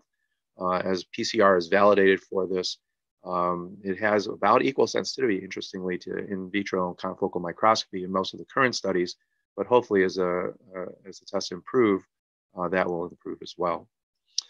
So as far as routine medical therapy, this is where a challenge comes in, and that is that much of the routine medical therapy that's used for acanthamoeba keratitis is not something that's easily commercially available. Um, debridement, which was talked about with HSV, is probably helpful to a certain extent, especially in epithelial disease. Um, we usually use a combination of medications, including some sort of diamidine like propamidine or hexamidine, along with a biguanide, and that's either chlorhexidine or PHMB. Uh, unfortunately, the chlorhexidine and PHMB are compounded currently. My understanding from Dr. Dart is that they are um, going to have commercially available um, PHMB in Europe uh, within the next year or two now that it's finished its studies. Uh, we'll talk about some systemic medications and the role of steroids as well. So this is what you hope for is a patient with a very early disease. This is a 16-year-old soft contact lens wearer with only and with pretty much only epithelial disease. And you can see very clearly the irregular pattern of the of the uh, reflected light off of the iris here. Uh, she was positive. We started on chlorhexidine, did a mechanical debridement at the time of her visit. Uh, within 10 days, her vision re returned to 2015. We treated her only for a month in this particular case, and she had no recurrences afterwards. So this is an ideal situation where you identify a patient early, are able to mechanically debride them, and treat them uh, for a relatively short time with a good with good success. And really, if you look at the results from acanthamoeba keratitis in the past, the visual results have actually been pretty good if you compare them uh, to bacterial and fungal keratitis, mainly because there isn't a lot of initial necrosis uh, in these patients. So if you are able to treat them medically, generally they do reasonably well visually. We have found recently, and it's been published out of uh, the Wills Eye Institute, uh, that more recent cases are becoming more resistant to therapy. They're requiring more time uh, in order to resolve their uh, infections. They're getting poorer outcomes and they're needing, needing more drugs. Uh, this is our personal um, observation as well. And in talking to Dr. John, John Dart uh, from Moorfields a couple of years ago, they were also seeing the same problem. So it's unclear whether this is an issue with the medications or the organism itself is, is changing in some way, but more recent uh, evidence suggests that visual prognosis is less um, uh, favorable than it had previously been.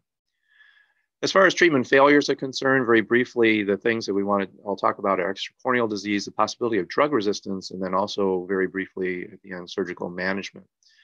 Um, like all infections, prior corticosteroid treatment of any kind uh, results in a poorer outcome. So uh, the, um, the lesson here is basically if you have a patient who has an unknown keratitis, which is not responding properly to either bacterial or antifungal therapy, that the addition of steroids, if they have acanthamoeba, is going to worsen their prognosis.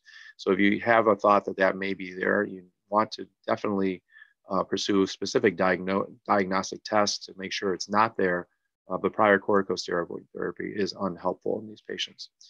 These patients, interestingly, also have a wide quad, quad, uh, of extracorneal disease, uh, mainly non-infectious things like dacryoadenitis. They can get a non-infectious scleritis. They can also get an infectious scleritis, um, as well as uh, other adnexal disease. So these patients uh, uh, not only have corneal disease, but they may get a choroiditis, um, and these are often inflammatory and not infectious. So as far as immunosuppression is concerned, John Dart's article uh, back in 2009 really highlighted the importance of using immunosuppression in those patients who are appropriately treated with anti-acanthamoebal drugs. So while prior treatment is bad uh, with steroids, uh, after beginning treatment, it is often necessary in many patients who have either extracorneal uh, or adnexal disease uh, to consider immunosuppression. If you don't immunosuppress these patients, unfortunately, they get a, they can get a severe scleritis and end up with a phthisical eye from ciliary body shutdown. So it's important to walk that fine line once they're on therapy. And then briefly, as far as strategies, these are some of the strategies if some of if your standard medications don't work. Um, this includes uh, the use of um, benzalkonium chloride containing compounds early on in the process, which can help with epithelial forms of disease. A recent study out of Moorfields showed actually that propamidine, most of the uh, anti-acanthamoebal effect comes from the benzalkonium chloride rather than the underlying propamidine. Uh, so benzalkonium chloride can be uh, a partner, especially in those patients where you don't have access to treatment immediately. Uh, so the use of a, a non-BAK compound or antibiotic would not be preferred in these patients where you suspect acanthamoeba is a possibility. Pentamidine is another diamidine that's in that class, which has been used in the past. Uh, it's extremely toxic, and evidence for its um, utility in these patients is somewhat limited. Uh, most of the azoles don't show significant activity against acanthamoeba, and the exception of that is going to be voriconazole. Either oral or topical has been described as an adjunctive or even a primary therapy in a couple of patients that we had uh, for deep-seated acanthamoeba keratitis. And, but I find that this is not consistently effective in most patients, uh, but can be helpful, especially if it's the only thing you have available. The newest class that's interesting is alkyl phosphorylcholines, primarily miltefosine. Uh, you can see here, I'm not going to go through all of the complications, but it's a common drug used for leishmaniasis around the world. Actually, it's a, probably the drug of choice now. This was the first patient we treated in 2011 on an experimental uh, IND basis. Uh, you see this patient had multiple recurrences after two grafts. Uh, we started the miltefosine, and the patient was able then to clear her infection and actually maintain 20/60 vision for quite some time uh, with a clear graft on the bottom right. Uh, I know Bhupesh has really pioneered this uh, from a topical treatment. Uh, it does have some effect, obviously causing some inflammation in the eye. Um, we've looked at this in our own patients. Uh, we've had 13 patients all of which have done well. We have had a couple of failures as well, but generally uh, this is much more effective. It's probably the most effective oral medication we've had access to. Not 100% effective, but certainly more effective than voriconazole. And then the last thing I want to talk about is surgical management. If you have acanthamoeba that's central and you know the borders, uh, I think a traditional PKP or a DALK uh, in these patients actually does quite well. As you start to get larger, uh, these patients, unfortunately, you start to get into their drainage angles and into their, um, into their iris. Uh, large uh, penetrating keratoplasts can work if you can avoid those areas. You can see in the photograph here on the right, this patient did very well just with a large uh, nine millimeter, nine and a half millimeter PKP. Uh, but if you're suspecting, as in many patients with acanthamoeba, that there may be extension either to the limbus or into the sclera or into the very peripheral cornea, that can be a significant problem. And in this particular case, uh, recurrence in a transplant usually will take this appearance, this sort of crescenteric advancing area uh, of granularity. Uh, that's usually a, a fairly um, advanced sign of reinfection of a transplant. Uh, in those cases, when you have to go larger, uh, doing a, a, standard trephination into the peripheral uh, sclera can cause significant derangement to the drainage structures in the eye. So our preference has been really to go uh, horizontal. And uh, you can see here in the schematic, um, this is essentially a, an extracapsular cataract wound entering just anterior to the trabecular meshwork and removing uh, both sclera and cornea in these patients, uh, but leaving behind many of the vital structures.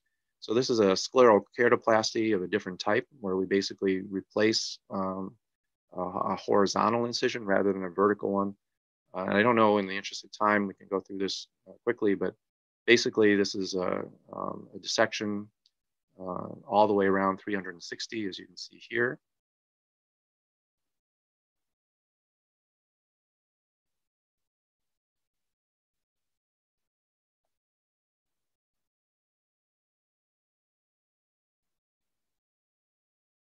We're going about 80 to 90% depth, and this is taken 360 degrees. And then here, uh, using a crescent blade, uh, an initial entry is made up into the gray line. And then that's taken also 360 degrees around the cornea, so that you're basically left with um, uh, an extracapsular cataract wound that goes all the way around, uh, or a scleral tunnel that goes all the way around the cornea and that's removed in a horizontal fashion.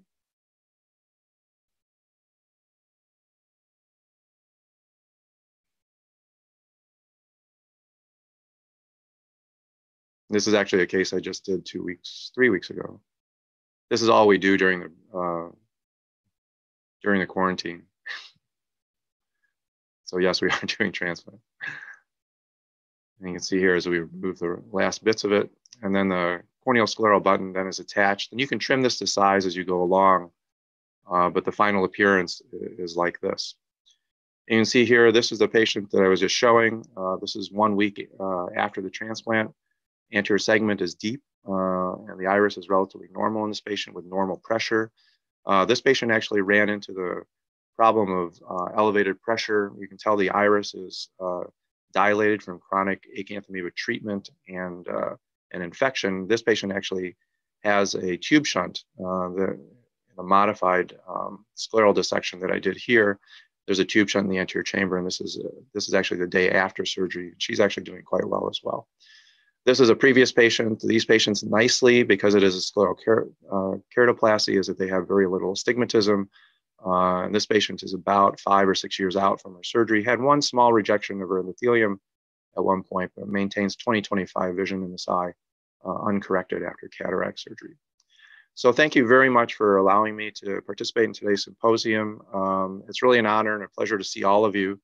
Uh, and I hope uh, hope the, for the best uh, through the pandemic as, as it uh, burns itself out uh, and any other natural disasters that may occur. Thank you very much. Thank you, Prof. That was awesome. There are several questions coming in. Thank you, Elmer. That was absolutely spellbinding to listen to. Uh, one question was uh, about, well, many people have also shared their experience about acanthamoeba keratitis in which the patients had large epithelial defect and stromal haze. This is from Tanuj. And uh, they have diffuse endothelial dusting. So the, the basic, the mood point is that because of the large epithelial defect, these were difficult to heal even with AMG. And then the, the drugs that we use are so toxic. So I think this is a very important question. So how do you manage this? In fact, even I have a patient right now with a PED, an anti-acanthamoeba treatment, and secondary glaucoma. So the epithelium just doesn't heal.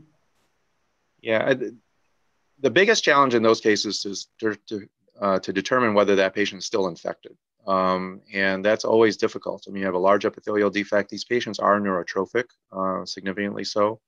Um, people have used AMT, um, but using a tarsorrhaphy, and if you still think they're infected, getting medications to the cornea is a challenge. This is where I think relying on uh, oral medications and systemic medications and reducing surface toxicity can be helpful cutting back uh, as much as you can on anti-glaucoma medications and also any topical therapy. If you can substitute oral therapy for it, uh, I think that that can be very helpful.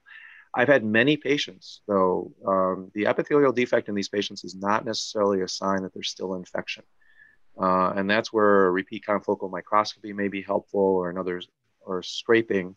If you can show that the patient doesn't have persistent infection, you'll have more confidence in reducing the surface toxicity from the medications. And then finally, we had a patient who's had a persistent epithelial defect for some time. We actually stopped all medications months ago. Um, and really, the neurotrophic aspect, we started uh, topical neurotrophic growth factor in that patient, and they healed actually quite quickly. So, uh, that can be a major factor in the epithelial defect and not actually infection or inflammation. So, Sheila, one, one comment from uh, Dr. Mahipal Sachdev uh, because he had gone, I remember if Nikhil can remember that, gone to US and did his fellowship uh, with Dr. Dwight Cavanagh and did study the ConfoScan uh, for the first time and then gave a lecture in RP Center, I remember as a postgraduate student. Yeah, but unfortunately didn't have acanthamoeba at that time. But I remember when we came back, those were the first cases of acanthamoeba when uh, we were running the cornea clinic that we described in uh, uh, in RP Center and I still remember having carried a big bottle of PHMB from US, uh, the swimming pool disinfected, and tried to use that. I think Nikhil uh, was there also, and maybe Dr. Titiyal might remember it. So that's about it. I think uh, it's a difficult bug to treat, and um, uh, nice to be refreshed with all the latest uh, what is there in acanthamoeba. I think. Professor Elmer has really given a great, great overview. And uh, I think uh, the cases, as has been rightly point out, pointed out, are with contact lens wearers, swimming pool, etc., uh, bad water. And in India, we do keep seeing these cases. So thank you very much. I think uh, it's a great. And now I think you people have worked and others have also been able to see on the confocal microscope uh, the uh, acanthamoeba per se. So that was a prototype that was being developed in 89, 90 uh, the confocal that we were working on in Georgetown. So that's about it. I think uh, things have moved a lot. Thank you very much, Dr. Mahipal. Uh, I think that you're first and foremost a cornea person, and then the other things come into place. we can claim you. So uh, there's just uh, just a couple of uh, questions around the same point, and then I think that that we'll close the questions for now the, these questions around the same point that since it's in the US at least, it's after contact lens usage. And it's probably this Dr. Jagdish has asked a very important point that uh, do they first come to the ophthalmologist or to the optometrist? And the second point is that once it does heal, uh, do you put them back on contact lenses? What do you do? Oh, that's a very good question, actually. I, I think the, if you look statistically, uh, patients usually go through an average of three or four eye care professionals before coming to a diagnosis? So the answer is yes. They actually do present uh, to primary care uh, ophthalmologists and optometrists. So it's not something that is unheard of. As far as getting back into contact lenses, it's really shocking that these patients are always asking that on their first visit when they can get back into their lenses often when they don't have a lot of pain. And the answer to that is is curious. I mean, as I mentioned, there may be some predilection uh, or susceptibility of certain patients to acanthamoeba keratitis. And uh, the incidence of patients having recurrent um, or new episodes is really higher than you would expect based on the population average. So I always make them aware of that. But the most important thing is they need to do something differently. And going into daily disposable lenses, for example. Uh, they, they may not have a decreased incidence of bacterial infection, but the chances of uh, contamination are much less. Uh, and they really have to change their practices if they want to go back into contact lenses. Thank you. Uh, I think we'll uh, go to the case, which is also a case on acanthamoeba. And if uh, Parikshit could just bring that in for me.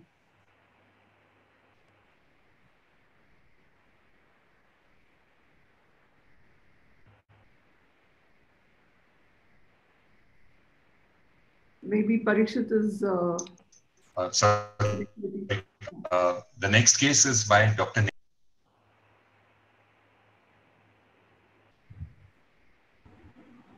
Unmute, Parikshit. Unmute. Uh, yeah, uh, Dr. Nikhil Gokhale needs no introduction. Dr. Nikhil is a leading cornea surgeon from Mumbai and a star of our Maharashtra Ophthalmology Society award in cornea in this part of the country.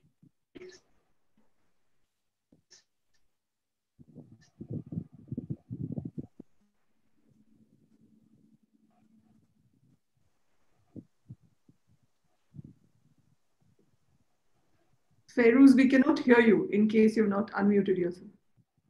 Hello, can you hear me? Yes, we can now, Feroz. Yeah, hi. It's my pleasure and honor to introduce our next speaker, uh, the president of Cornea Society of India and the past president of Bombay Ophthalmologist Society, uh, the young and uh, excellent academician, Dr. Nikhil S. Gokhale from Gokhale Eye Hospital.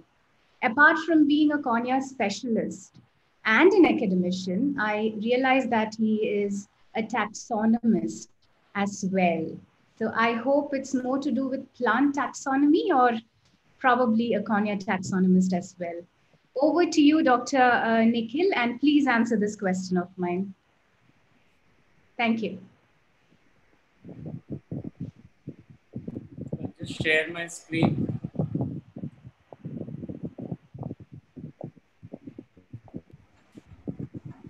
Can you see my slide?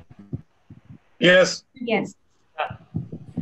Uh, so I thank the AIOS Scientific Committee and uh, Dr. Somasheila for me uh, to be here today with all of you. Uh, she wanted me to present a case that I've managed during the pandemic. Uh, and I, in fact, have uh, been managing two patients of acanthamoeba ulcers.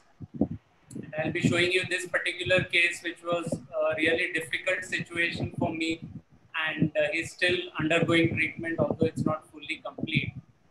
Uh, so this was how the patient came to me. He was uh, a 44 year old gentleman with uh, diabetes.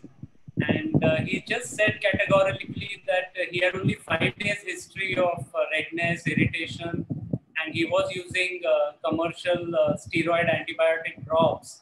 And subsequently, he developed this ulcer and he was referred immediately by the local ophthalmologist to me. Uh, so basically he had a ring infiltrate which was uh, all around with a large epithelial defect and uh, which was sparing the central uh, cornea of course.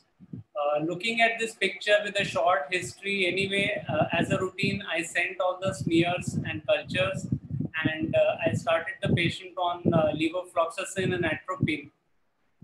however, at 48 hours, the reports were negative. There was nothing in the uh, slides or the growth and the patient was worsening on day three and day five.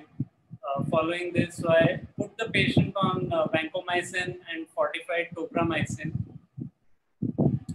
By one week, there was absolutely no response to antibiotics. The epithelial defect was total. Uh, at this point of time, I thought it would be wiser to take a second opinion and do a repeat microbiology at a different uh, setup. So I sent him to one of my colleagues who again repeated the same uh, protocols for microbiology. However, uh, again, the results were negative. At this point of time, the patient decided it was enough and uh, he was not willing to travel or take any further opinion or testing then returned back to me on uh, about uh, day 18 at this point of time, he was uh, significantly worse with now 360 degree uh, limbal involvement. Uh, so I had to talk to him and motivate him for one last workup, which was only going to be smears. And uh, I had to talk to the microbiologist to see and tell him that probably we are losing his eye and we need to really look at the slides and, you know, check what's happening. And at that point of time, he told me that there is acanthamoeba in the calcofluor staining. Uh, the same day, uh, I started the patient on uh, chlorhexidine and uh, PHMB and uh, continued his uh, tobramycin and atropine and continued to follow up. And within a week of the anti-acanthamoeba therapy, he actually looked still worse. There was significant inflammation inside the anterior chamber with some fibrin-like reaction uh, there was annular uh, guttering and uh, limbal involvement with extension looking as if onto the sclera. at this point of time, I added oral doxycycline and was considering whether we can apply a glue onto the thin area. Nine days later, the picture looks still worse. He is continuing to go downhill. Uh, there was scleral inflammation as well The patient's pain was manageable with oral diclofenac. Uh, somehow I could not manage to do a glue bandage lens because I was alone in the clinic at that point of time and the lockdown was uh, just going on at that time. Uh, another two weeks passed and uh, the thinning at the limbus was only getting worse with active scleral inflammation. Uh, despite the anti-acanthamoeba therapy. So I sent an SOS call to my Mumbai cornea colleagues and I was lucky that uh, one of my colleagues in a multi-specialty hospital could do a little bit of debridement and uh, do at the uh, limbus so as to support the thin area. Uh, about three weeks later, uh, most of the glue was not there in place and actually there was a pannus and a vascularization all around uh, the glue uh, had more or less uh, sloughed off. The bandage lens was still there. The eye was looking quieter. The scleritis had come down to some extent, and I reduced the frequency of medication. Uh, three weeks down further, this is day 94 of treatment and uh, day 77 on acanthamoeba treatment. When I saw him last a few days back, uh, there was conjunctivalization all around uh, there was a centrally overhanging uh, corneal tissue. I think the vessels are invading below it, and this is how the corneal overhanging lip is there. he has no pain now. The scleral inflammation is settled, but there is scleral thinning all around, as you can see. And I expect that uh, over a period of uh, next few weeks, he will have a totally conjunctivalized surface uh, with probably underlying scarring and thinning some of the thoughts that came to my mind uh, as I made this presentation was that uh, one of the factors that uh, the patient's very short history of five days made me think that this was a fulminant infection. And when smears are negative for fungus, uh, I, I, believed it was more probably bacterial in origin. So I was trying to give antibiotics. However, when the microbiology was negative at two centers, I felt I was probably wrong uh, and maybe that this could have been an acanthamoeba. Uh, down here, I must confess that sometimes we still need to talk to our uh, microbiologist and uh, we need to keep discussing with them. Otherwise, uh, sometimes the technicians report and uh, sometimes the reports are not, you know, negative. And even after so many years in practice, I think I'm still learning from every new patient that I see some of the questions that came to my mind were that uh, in a cornea practice at least, is there any role of uh, starting empirically anti-acanthamoeba therapy? I, I feel it may not be a safe option for general ophthalmologists uh, without a proper diagnosis. Uh, I myself, of course, uh, do start this treatment when I see radial neuritis or a very typical uh, pattern, but short history, I think, was something that made me go wrong. I don't know whether it is reported to get it so quickly, such advanced disease. Uh, would anyone have done a keratoplasty if corneas were available at any point of time during its treatment? Uh, any systemic medication, as Elmer mentioned, maybe uh, voriconazole or any other drug would have helped or should have been used. Uh, would anyone use oral steroids in such a case for the scleritis? Uh, considering that we were able to manage his pain, it wasn't very unbearable. And uh, maybe once the surface heals after a year or two years, would uh, some, someone uh, maybe tell us if uh, surface reconstruction or keratoplasty is possible in such a severe, you know, sort of pathology? And I must thank uh, Dr. Devang, Dr. Suresh, and Dr. Jyoti Prakash, the microbiologist, for helping me in uh, treating this case.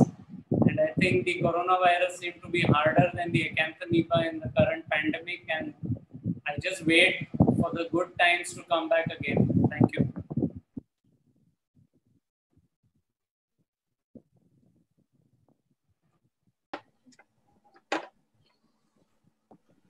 Thank you, Nikhil. Thank you, Nikhil. Hmm. Go ahead. Oh, um, he asked all the perfect questions, all five. I think are the most difficult. Uh, I think there is a role for empiric therapy. I mean, I, if you don't have microbiologic backup for it, even in those patients that are negative, I think that using them, they're relatively safe, honestly. The topicals and they're broad spectrum, and they do have activity against fungi and bacteria as well.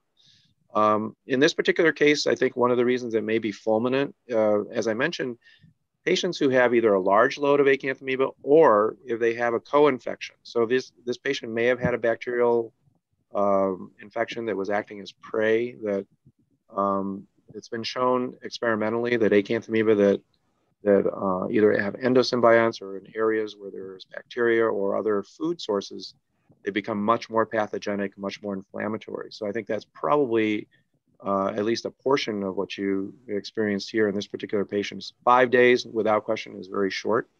Um, but I think that those are probably two factors you'd want to look at.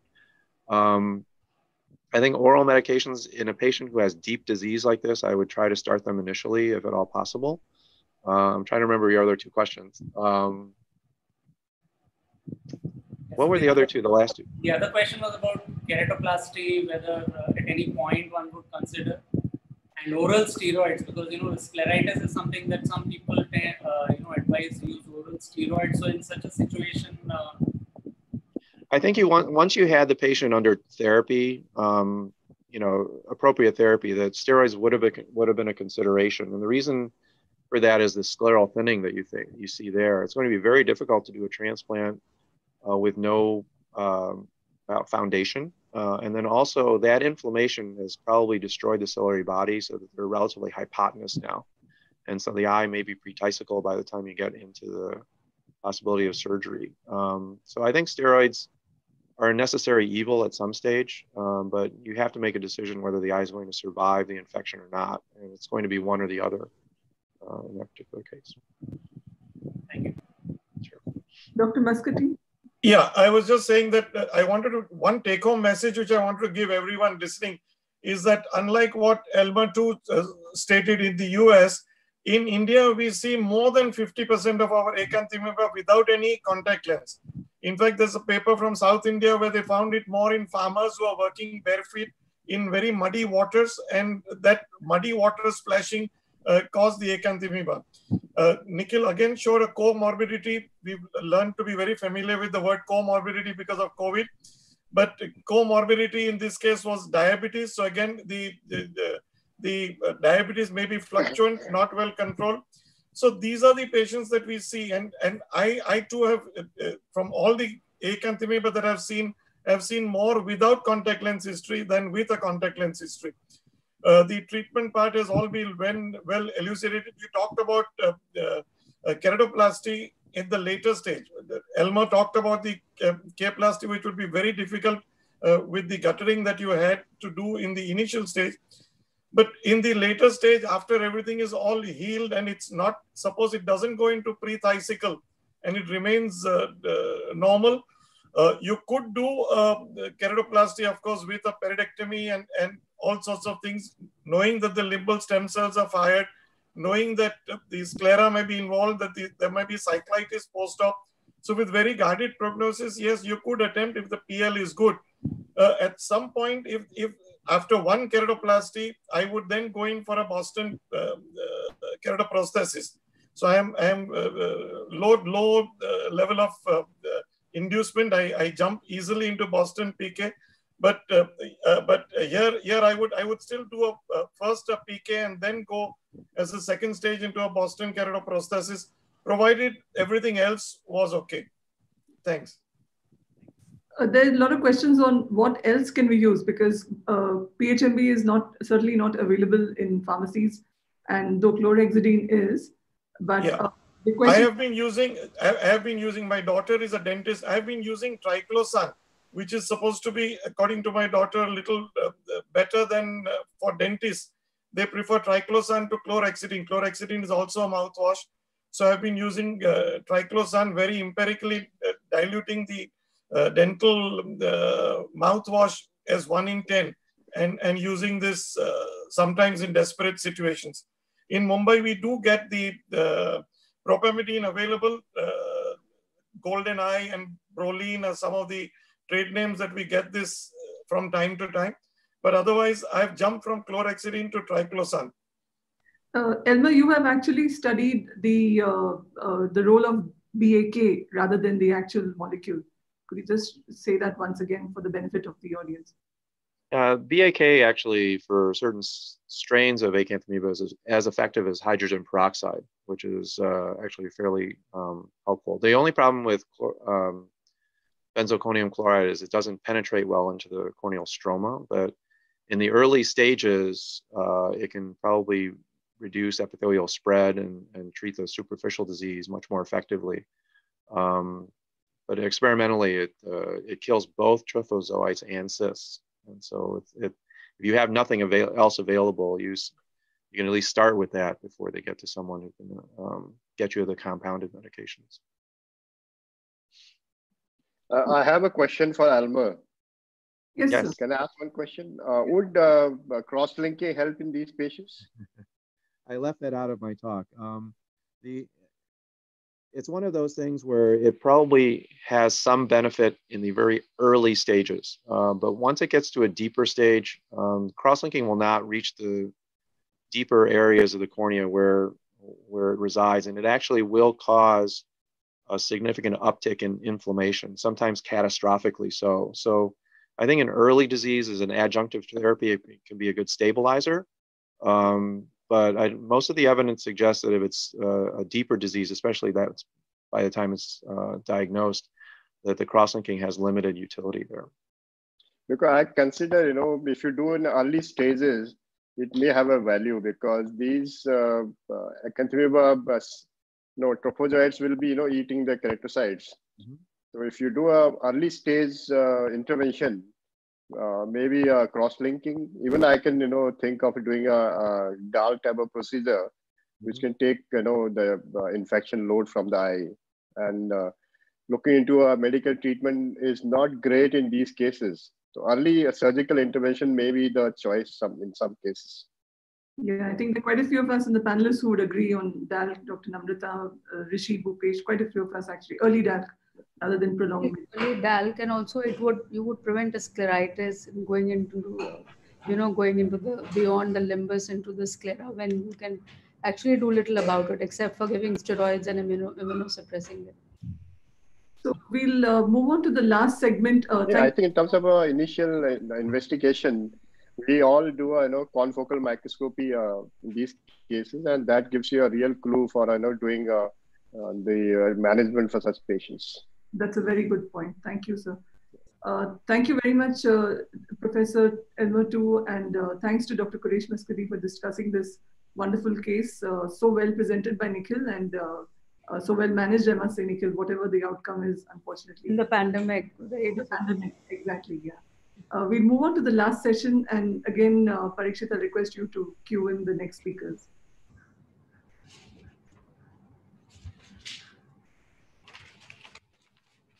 is uh, Dr. Bhupesh a cornea consultant from LV Prasad. So we have somebody to introduce him.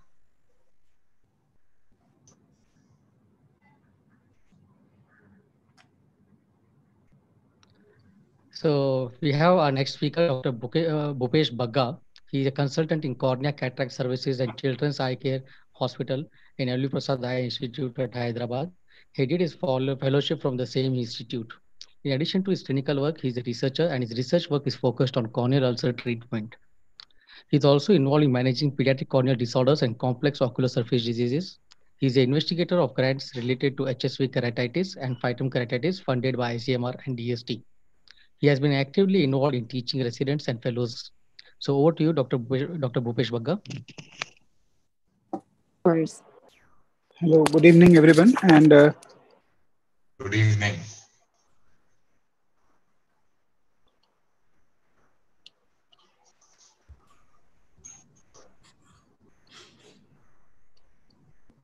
Hope I was audible.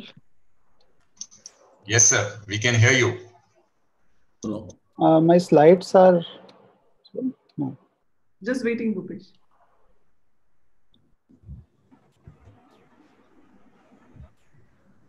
Nikhil, Nikhil has to know stop share uh, screen first. That. Yes, Bhupesh, you're in. Okay. So uh, thanks uh, again uh, to AIOS Scientific Committee and especially Dr. Somasheila for the kind invitation and uh, uh, giving me opportunity to present my case.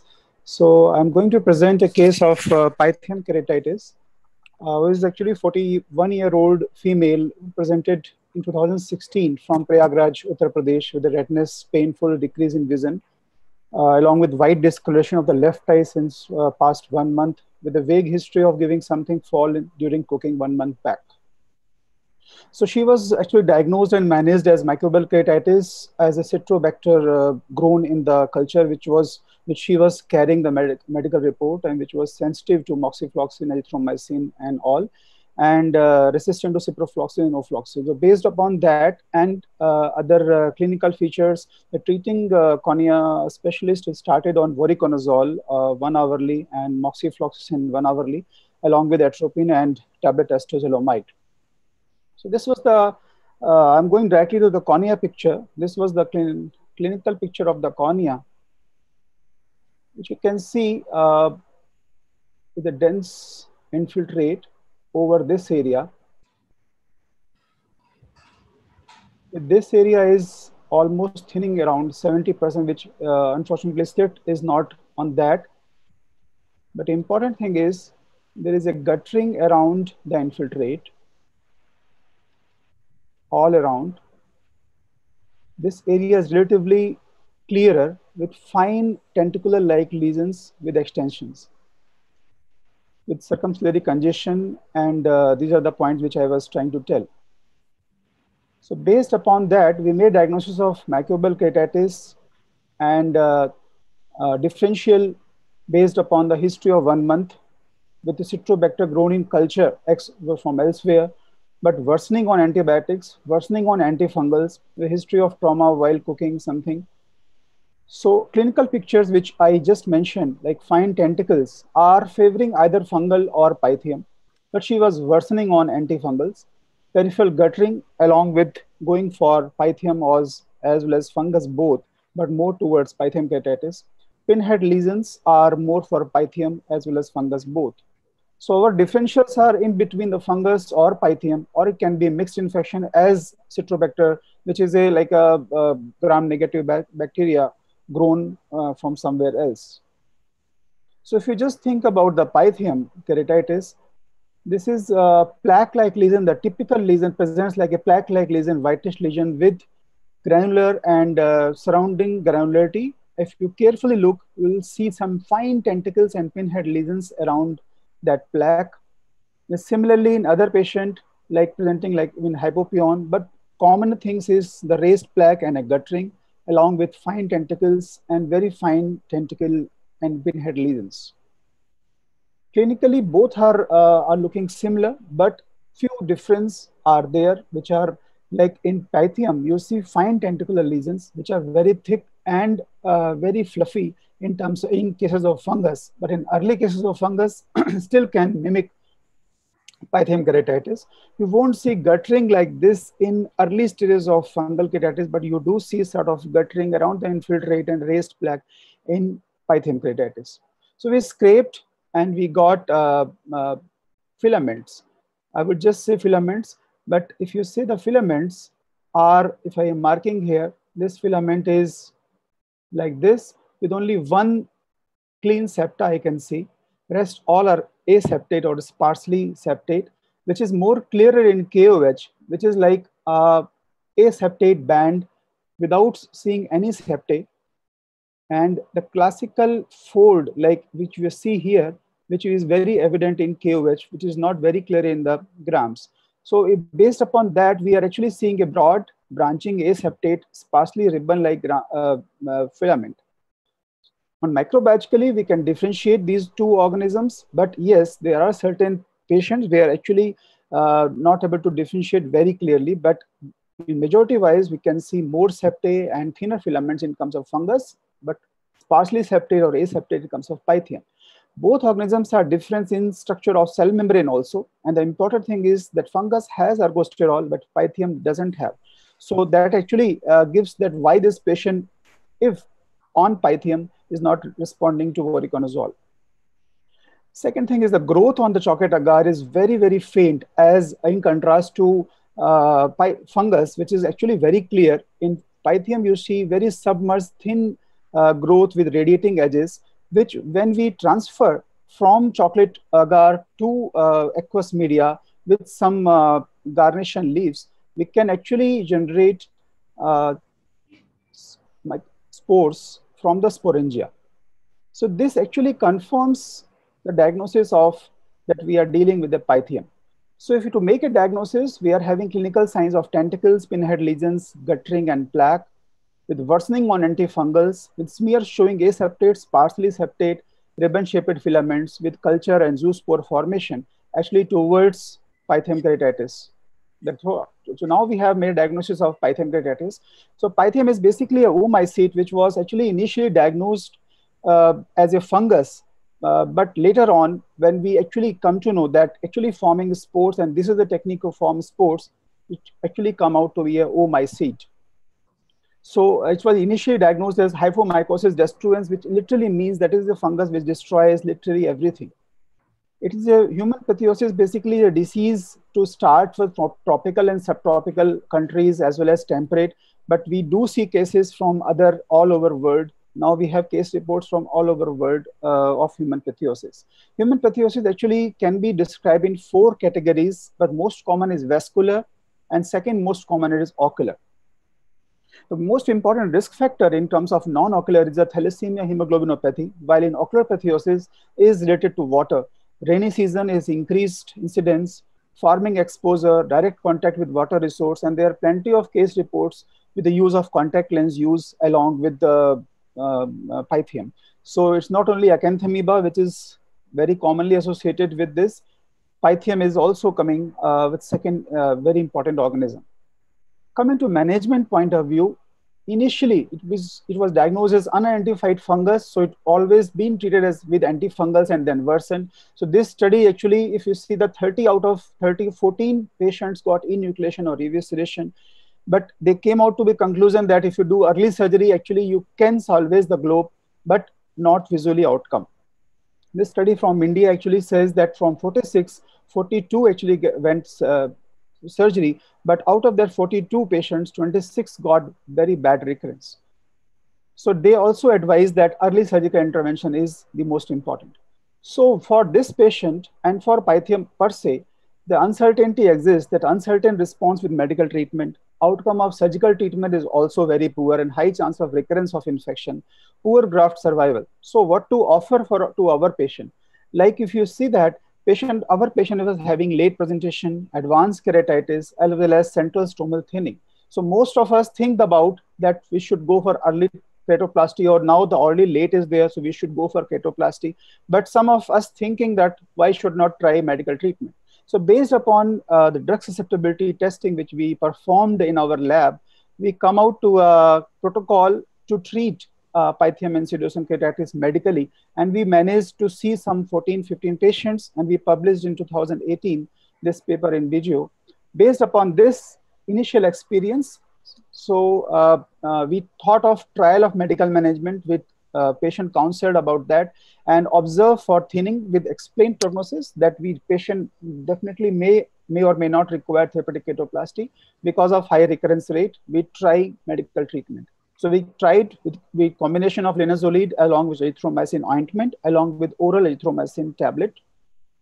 So this was the patient at presentation. After three days, if you see that little thinning is uh, more clear with little bit of consolidation of the endoexudate, which now appearing now with a haze of 14 days, the difference is little bit obvious that this cornea, which was little bit of fuzzy, actually started clearing up. And to our excitation, this uh, central cornea also was getting clearer.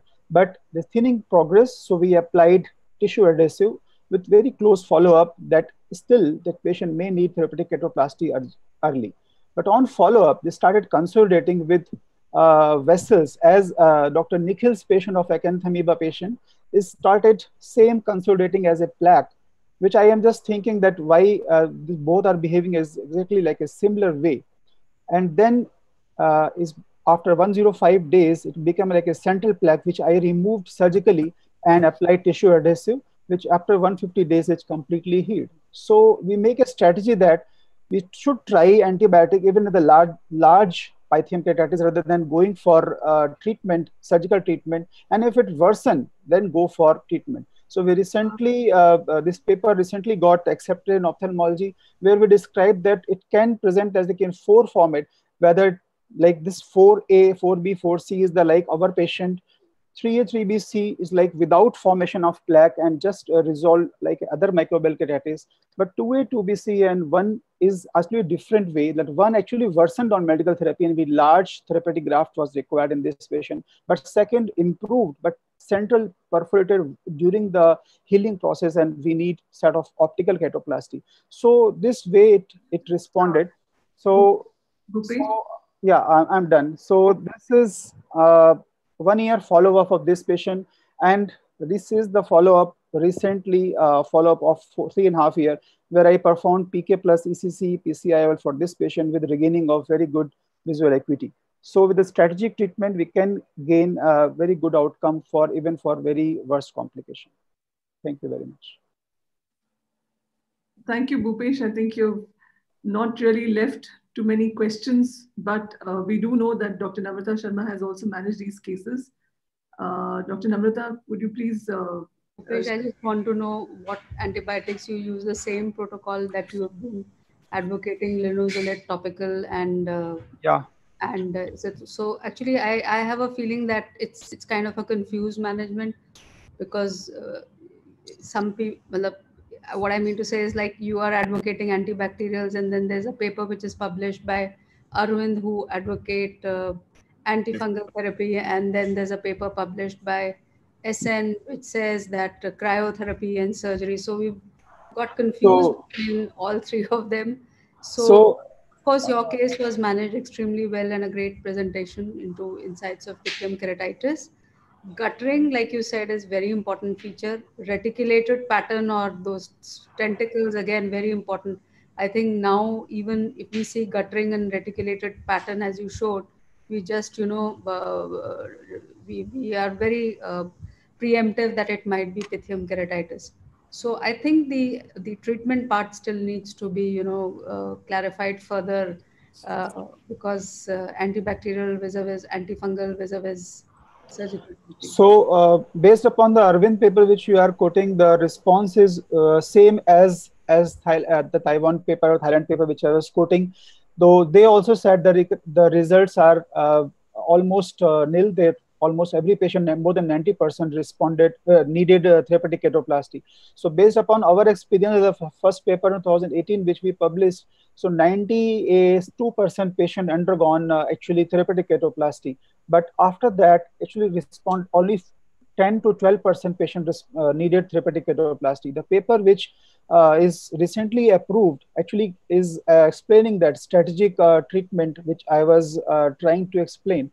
And uh, the Shankar group actually is is actually trying to uh, mm, say that therapeutic PK along with adjuvant treatment, alcohol and cryotherapy, which they are trying, is actually helping for pythium keratitis. But in, in that also, the recurrence chances are there. But in our patient, in our series, the, there is no recurrence even after going for therapeutic keratoplasty. Even out of uh, 32 patients, only five patients grew from grew pythium after keratoplasty, which suggests that treatment is actually working. And now this has been uh, confirmed by animal trials as well, because we have done animal trial for uh, for pythium, and our third paper is on on review. So maybe that also will highlight and uh, confirm of the finding which which I am trying to tell. So there is no confusion in in actually in our mind that pythium can be managed in this way and should be managed in this way because this is the way it is behaving. Well, we have almost 160 patients outcome, which is going to be published soon. So probably that will also clarify the, uh, the result.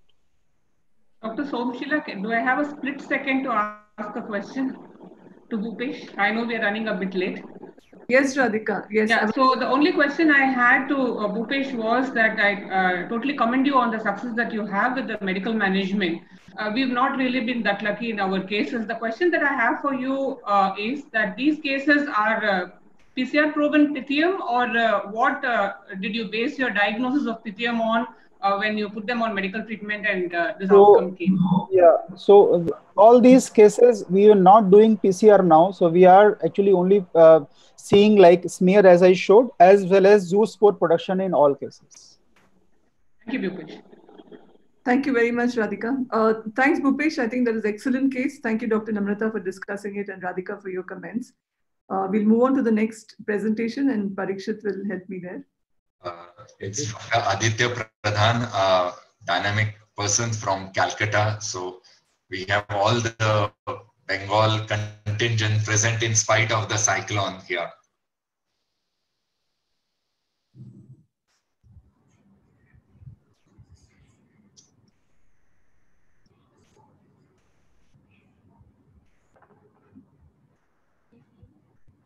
Somebody is introducing, then yeah, he or she has to unmute. Yeah. Uh, Dr. Aditya Pradhan uh, is a young and dynamic cornea specialist from uh, Disha Eye Hospitals, Calcutta. He's uh, numerous awards to his credit. He has been Young Achiever Award, uh, ISCARS 2016, and also won Think Under the Apple Tree from AIOC in 2018. He is also reviewer for cornea and external diseases for Indian Journal of Ophthalmology and section editor for cornea for AIOS Times as well as section editor for Cornea for TJO, TJOSR. Over to you, Dr. Aditya Pradhan, please. Thank you, sir, for the kind introduction. Uh, I'll just stop your screen sharing. Yeah, I'll do that.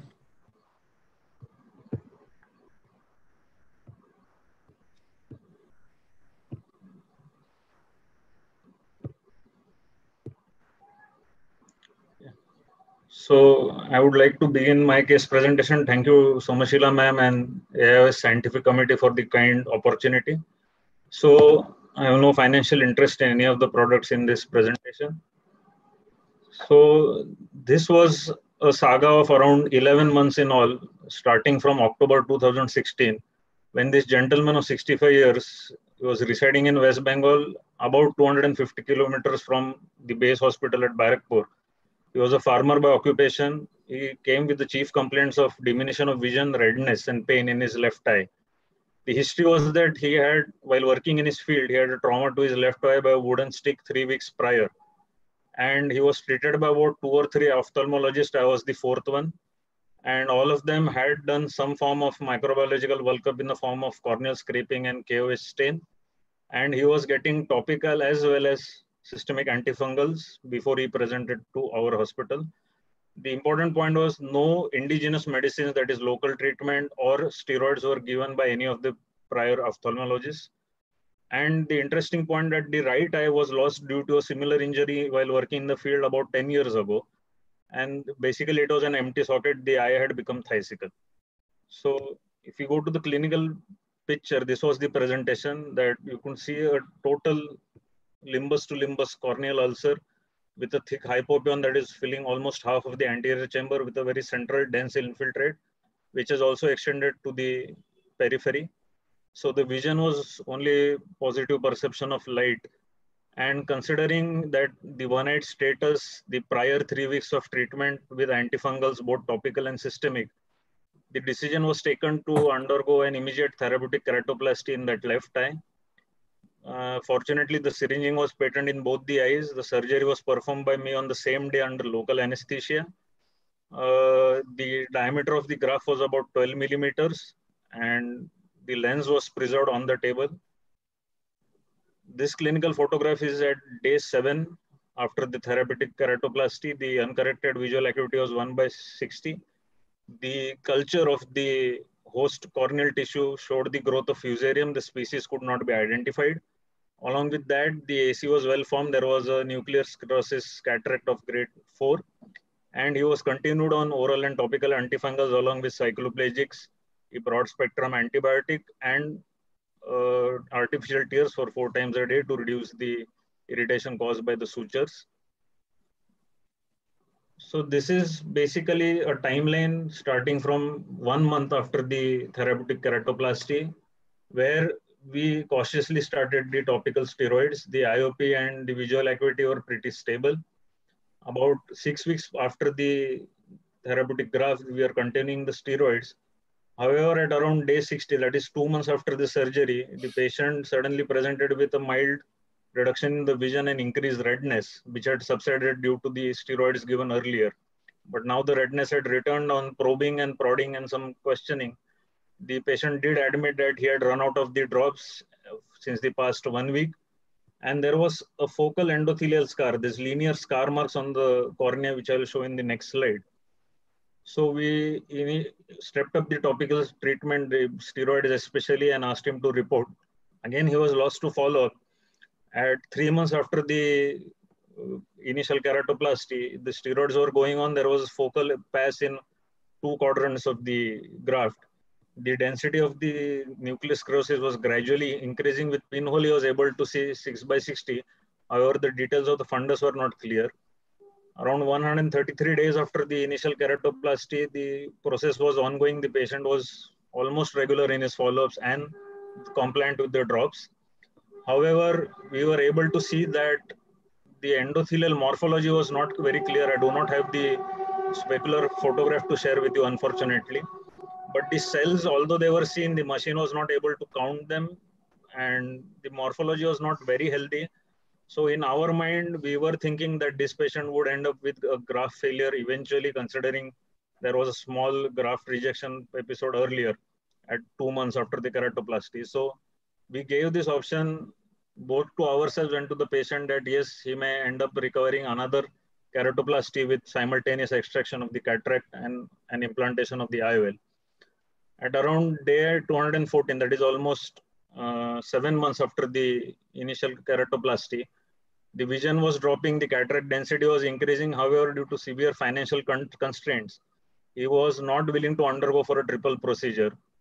And so we thought of that, okay, let's go just ahead with the cataract surgery and the IOL and then do a DSEK or some other form of keratoplasty later on if needed. The patient and his relatives agreed to this thought process. So yes, this is day 214. As you can see, the cataract density has quite gone and these are the linear endothelial scarring I was talking about in one small area of the graft. And so the patient was awaiting cataract surgery. Yes, the endothelial health was doubtful, but considering the limited choices for visual rehabilitation, especially was one aid. So we did decide to go ahead with the cataract surgery. Here I would like to emphasize that I did refer this patient to a colleague of mine, is Dr. Arup Bhaumik, a very senior cataract consultant at our hospital because the density of the cataract and my surgical expertise as a cataract surgeon were not in tandem. So I decided that this has to be taken care by a very senior cataract surgeon. So as you can see, he did go under undergo cataract surgery with a single piece hydrophobic IOL. On day seven of the cataract, the visual acuity with pinhole was 6 by 18. There was as this endothelial scar, scarring as mentioned earlier. He was on steroids, a broad spectrum antibiotic and artificial tears. We could see the fundus very clearly for the first time after the keratoplasty. It was very healthy and the IOP was also normal. So this is cataract post-op day 56 almost two months after the cataract surgery. Visual acuity of 618 with a minus 2.25 cylinder. And the drops and the steroids were continued. Everything was fine. Around three months after the cataract surgery, again presented with complaints of reduced vision and pain in one week. He was not seen by me, but another branch of the hospital by another cornea colleague. And the visual acuity had dropped from 6 by 18 to 5 by 60. There was severe graft edema, cells, flare in the anterior chamber. The diagnosis, the working diagnosis was an episode of acute graft rejection. This would be the second episode. The IOP had also shot up, so it was managed medically. And the patient came back to me this was 112 days after the cataract. Vision had uh, had dropped actually further. The reaction, AC reaction had reduced. IOP had become acceptable, but the graft edema was persistent. We could tell that it was, headed towards failure.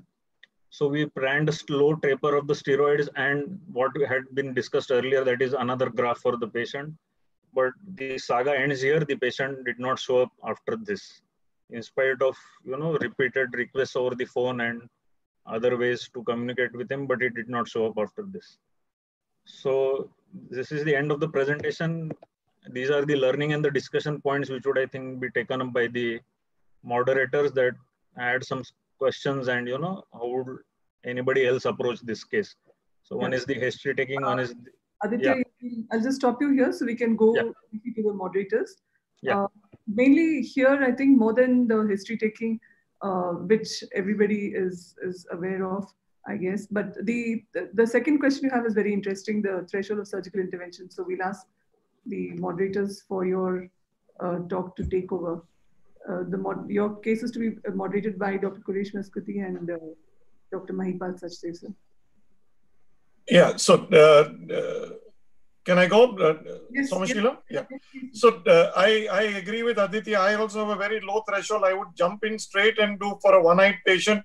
Uh, I would do exactly what he did, a therapeutic uh, PK points to be noted. Very correctly, he left the uh, lens in place. Don't try and combine it with a cataract surgery in an infected uh, cornea. Many people, especially youngsters, feel that we might as well get the lens out at the same time chances of endophthalmitis will increase.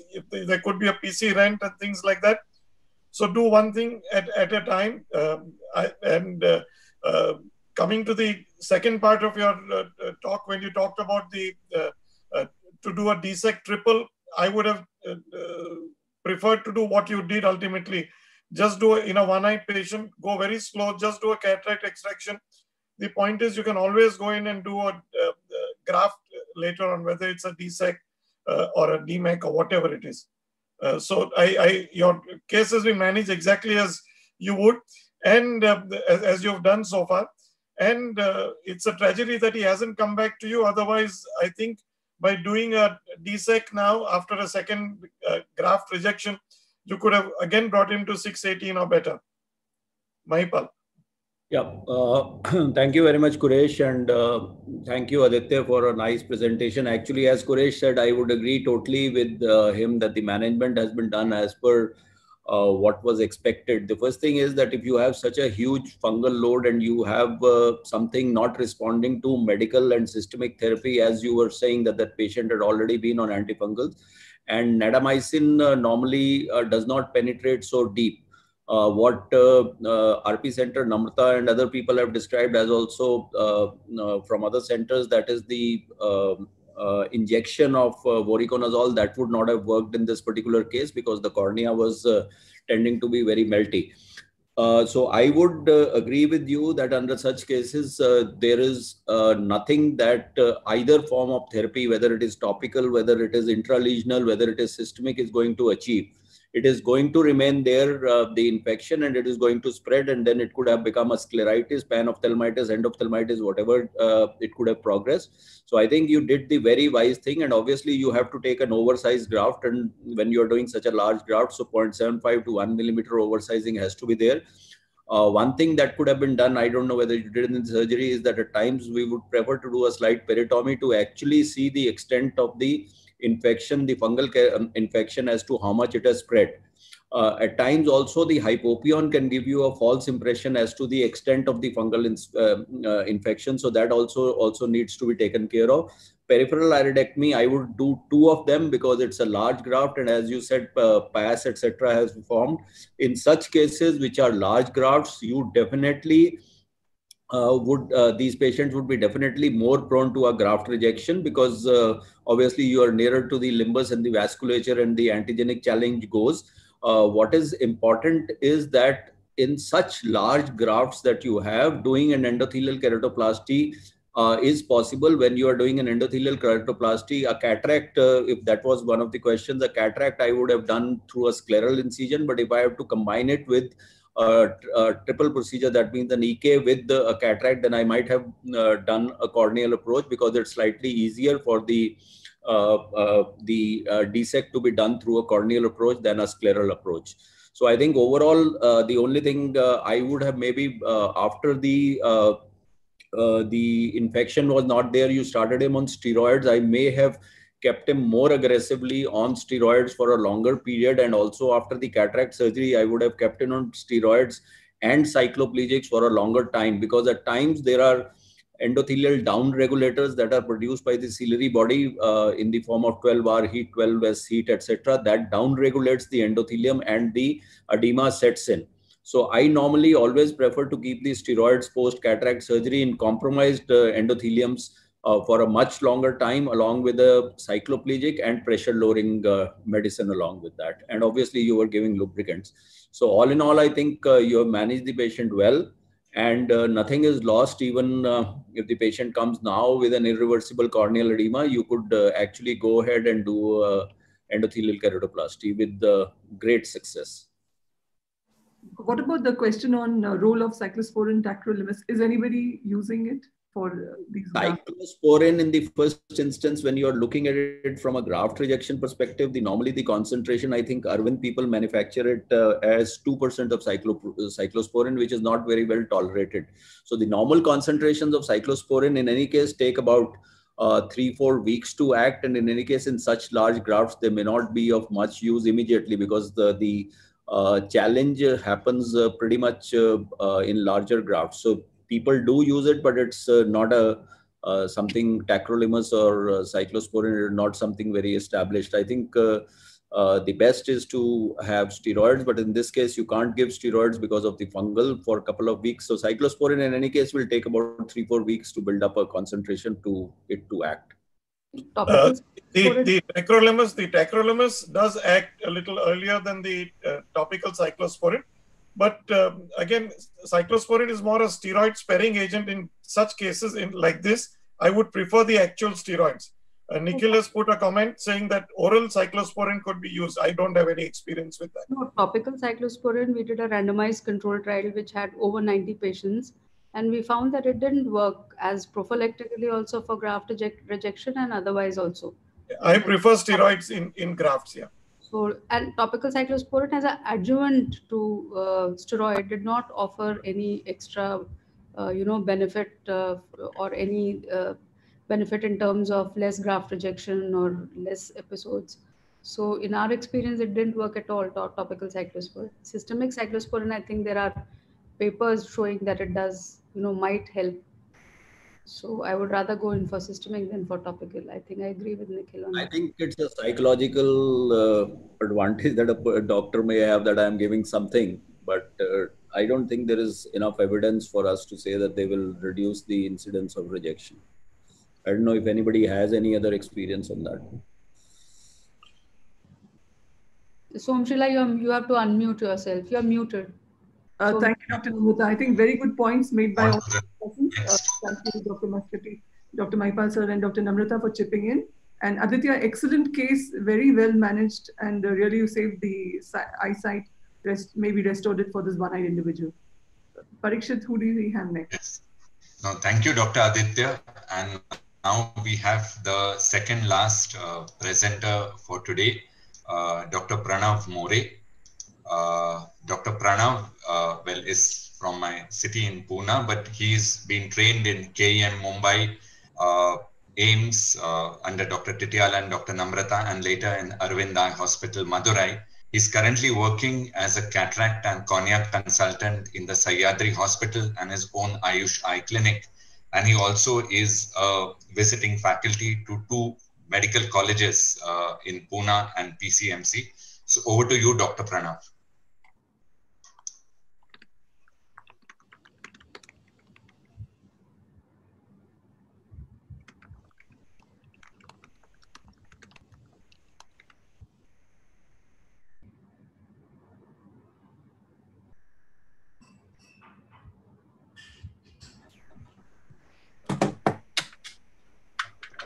Unmute yourself and share your screen.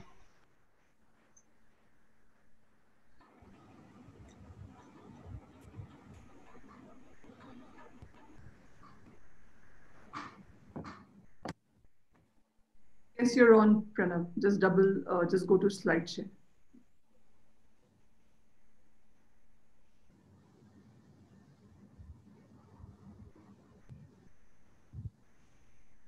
Audible? Barely. To increase your uh, volume. Audio, please. Admin, please look into the Is audio. that good now? Is that good now? No, it's not good. Louder. Is this okay? Very good. Yes. Okay, okay. Uh, good evening to all. Warm wishes from Pune. Uh, I wish to thank uh, AIOS Scientific Committee and Dr. Somasheila for having me here. Uh, it's a nostalgic feeling because I'm presenting a case after almost 12 years in front of my teachers, Professor Titiyal and Professor Namrata. Uh, I hope they are a bit milder on me this time as compared to my good old residency days. Uh, the topic that I'm going to present is a case presentation on a young lady, 23 year old lady, uh, who was diagnosed to have bilateral keratoconus. The right eye had uh, a heel hydrops, two years old heel hydrops, with a significant amount of scarring, whereas the only seeing eye, uh, which we had, uh, was having a moderate keratoconus, and I had offered her a collagen cross-linking procedure for the one. Her best corrected visual acuity in that eye uh, was 636. There was no other predisposing factor, uh, no systemic associations to have uh, keratoconus. She didn't have any atopy. She didn't have any other systemic conditions which could cause secondary keratoconus. Uh, the procedure that I opted for was uh, accelerated CS, uh, CXL with an epi off. Uh, the procedure went off pretty well in classical aseptic precautions taken in an OT OR and uh, uneventful procedure. The patient did have some pain post-operatively, which is expected in an epi off procedure. Uh, the immediate post-op, the patient only had a BCL in situ and no major complaints on day one. She was put on a routine protocol of antibiotics and lubricants in the immediate post-operative period. This procedure, which I did, uh, was on a Saturday afternoon. And uh, so there was a Sunday where the patient was seen by my resident and fellow uh, initially. And they just reported back saying that the patient's pain has reduced and the patient is on a routine uh, post-op course. So I, the patient was sent home on Sunday afternoon. And uh, the patient had no complaints till Monday afternoon when the patient came back on day two with significant amount of pain. Ideally, uh, post C3R, if the patient is on a BCL for 48 hours, the pain should settle down and the patient should be much relaxed, even if it's an epi-off procedure with the BCL in situ. But the patient presented on a Monday afternoon around with pain, significant amount of pain now, a lot of redness, quite an inflamed eye, and a, a, lot of whitish lesions, which I'll show in the next slide. So this was the presenting feature on day two. Uh, quite ghastly to look at in a patient who has just undergone so-called not so invasive, minimally invasive uh, procedure for a refractive condition like a keratoconus. And this is very ghastly. I, I almost missed my heartbeats there when I saw this uh, in a post C3R patient. And uh, looking at these, these are nice elevated gelatinous lesions. The central lesion pretty much restricted to the area of epi, epi off zones zone, and a very nasty looking lesion to see on day two in a post C3R patient. Uh, I was really worried. So obviously uh, the epithelium had not healed off. There was an overlying ulcer defect. Uh, scraped the patient, send it for a microbiome assessment. Uh, the attending microbiologist in the hospital uh, reported it as gram-positive cocci and therefore this patient was started on as, as a normal empirical protocol without having a culture report put this patient on a fortified vancomycin with moxifloxacin eye drop one hourly uh, hoping that this patient will start responding uh, we did send it for culture and sensitivity also as per the protocols. Uh, so had to wait till the reports came in after 48 hours, which was on day four. And uh, the day four, the reports sent to me by the microbiologist suggested that the patient doesn't respond to vancomycin. He doesn't respond to any of the fluoroquinolones. So the primary drug of choices that I put in for such a ghastly situation in a minimally invasive procedure uh, were not going to work for me. So then I, assessed, I went through the report and it just showed that the aminoglycosides is one of the groups which is working pretty well or has an intermediate sensitivity as compared to the ones which we had chosen, vancomycin or moxifloxacin. By day six, I think day five or day six, the patient walked into the clinic saying she's not feeling fine. However, we put this patient after day six on uh, this, uh, on amikacin 2% because as per the culture reports, the patient started was started on amikacin 2%. As the time passed, uh, we did notice that the patient was responding pretty well. And uh, just taking some anecdotes or taking some inspiration from the SCUT study uh, performed at Aravind Eye Hospital, I decided to introduce a mild surface acting low dose, low potent steroid in the form of loteprednol, etabonate. And this, uh, I started at a frequency of three times a day for the first three days, but I did keep this patient on a close follow-up. The epithelial defect had almost started to almost heal, but there was a significant amount of scarring and an inflammatory inf- infiltration going on in the cornea, for which I then decided to put this patient on loteprednol on day 14. The response that I actually noticed after uh, introducing loteprednol was quite impressive, and the scarring from the first day two image to the day 21 image, it just clearly says that introducing steroids at the right time have helped in a situation, a sticky situation, a nasty situation like this, to salvage to a point there wherein by day 40, uh, I had a scar which was barely minimally visible, uh, not significantly hampering the visual acuity. She uncorrected visual acuity at day 40 was around 636, which uh, along with the scarring, I thought was rather a more uh, reparative and much much of a, a respite for going through uh, a post-operative infectious keratitis in a C3R. Uh, so quite a scary situation to start off with, but um, shouldn't lose faith in managing it, sticking to the protocols, going by the medicine, going by science, playing around with it, altering things as per uh, the reports come up has helped. And making use of scientific research that has been provided to us through so many research trials has actually helped recover this outcome for us in a situation which looked very nasty and ghastly in a one night, nearly one night. I wouldn't say one night, but nearly one night person, patient, a young woman with uh, just a keratoconus and undergoing a C3R procedure. Uh, the thoughts that I had on my mind was was epi off. So there has been an epi off versus epi on debate for a long time. Uh, either of it are efficacious in terms of managing managing uh, progression of keratoconus, but uh, having a look at this kind of a scenario, you generally don't want to see something like this an epi off uh, versus epi on was, was something on my mind. Should I switch over to an epi on procedure pattern? Uh, is there a good time to start topical steroids? If epi, what would be a good time to start steroids? I usually would start topical steroids on day three after the BCL is off. Even if there is a minimal epithelial defect, I would still choose to put a low dose uh, surface acting loteprednol kind of a molecule. And has anyone encountered a scenario? Because I was going through the literature then, uh, there are only 10 cases published worth considered as post C3R infectious keratitis. There were 50 or 50% of them bacterial, few of them were fungal, and two of them were acanthamoeba. Uh, one or two odd were herpetic.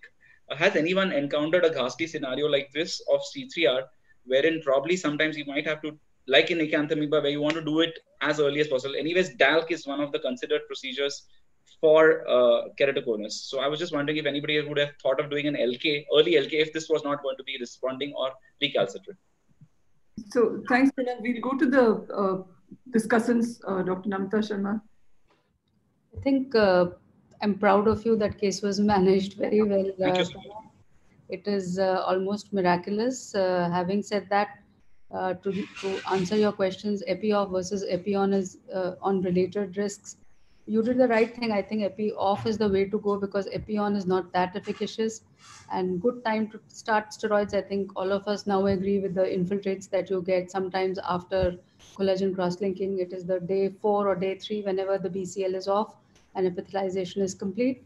And I think that was the correct way of doing uh, that. You first saw that whether it is responding or not, and then take a subsequent decision on the surgery.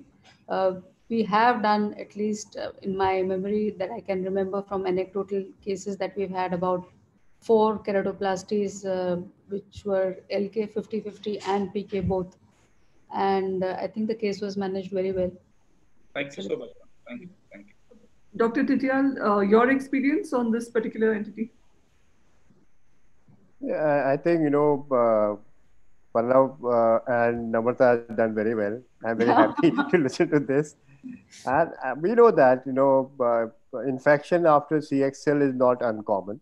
Yeah. People do see such cases. And uh, as Pranav rightly pointed out, it's really, you know, uh, heartbreaking sometimes to see a healthy keratoconus patient yeah. developing infection after two, three days.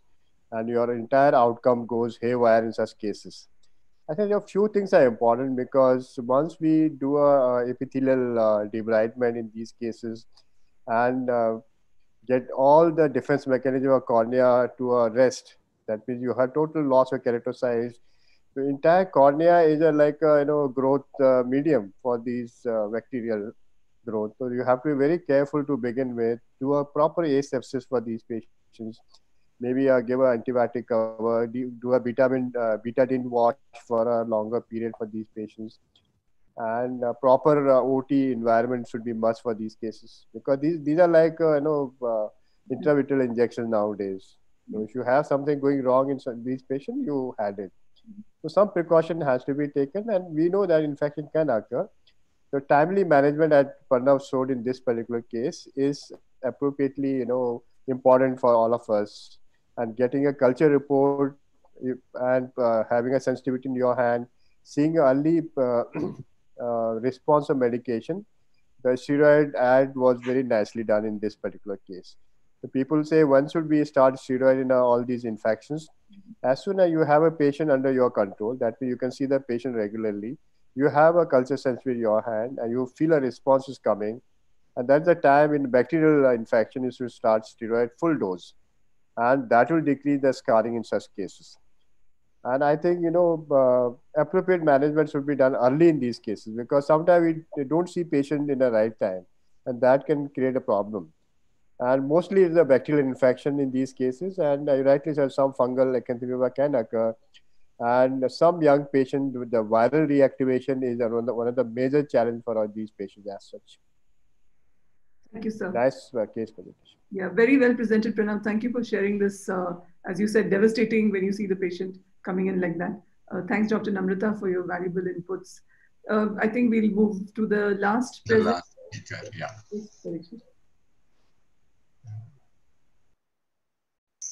So the last presenter so, is... Uh, I think, Somasheila, you are introducing Dr.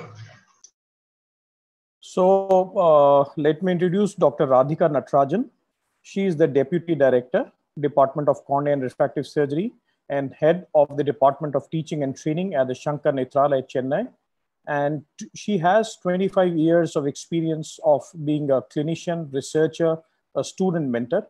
And she has to her credit several books, which she has authored and co-authored. Her basic areas of interest are corneal infections and inflammation. So over to you, uh, Dr. Radhika. Thank you for that kind introduction. Uh, hello all, uh, I'm Radhika from uh, Sankara Nethralaya and uh, special thanks to Dr. Somasheila and the scientific committee for having me here. I'll share my screen right away.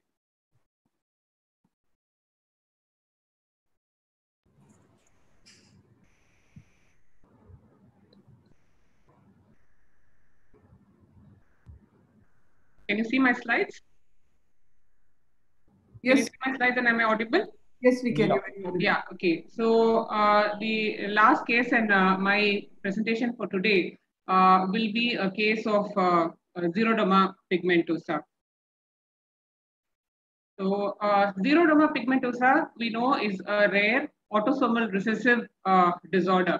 But it is important for us cornea clinicians because many, many XP patients have uh, corneal problems.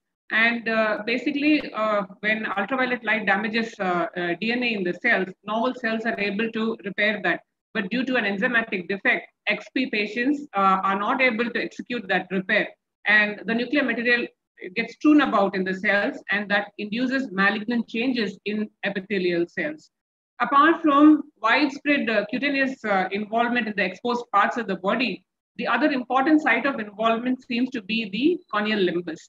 And uh, because of this, these people get epithelial problems like SPKs, epidefects leading on to corneal ulcers. And the limbal instability also causes ocular surface tumors. All these were seen in my patient of xeroderma pigmentosa, who was also a single-eyed patient. So basically, he was a 45-year-old male patient. He was a known case of uh, xeroderma pigmentosa.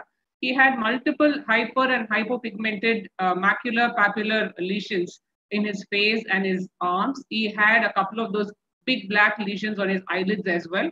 And uh, he was on photoprotective treatment when he uh, presented to us. One eye, he had lost to corneal infection long back.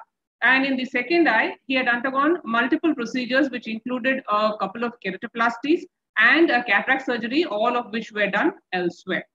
He came to us with acute reduction in vision in his only seeing eye.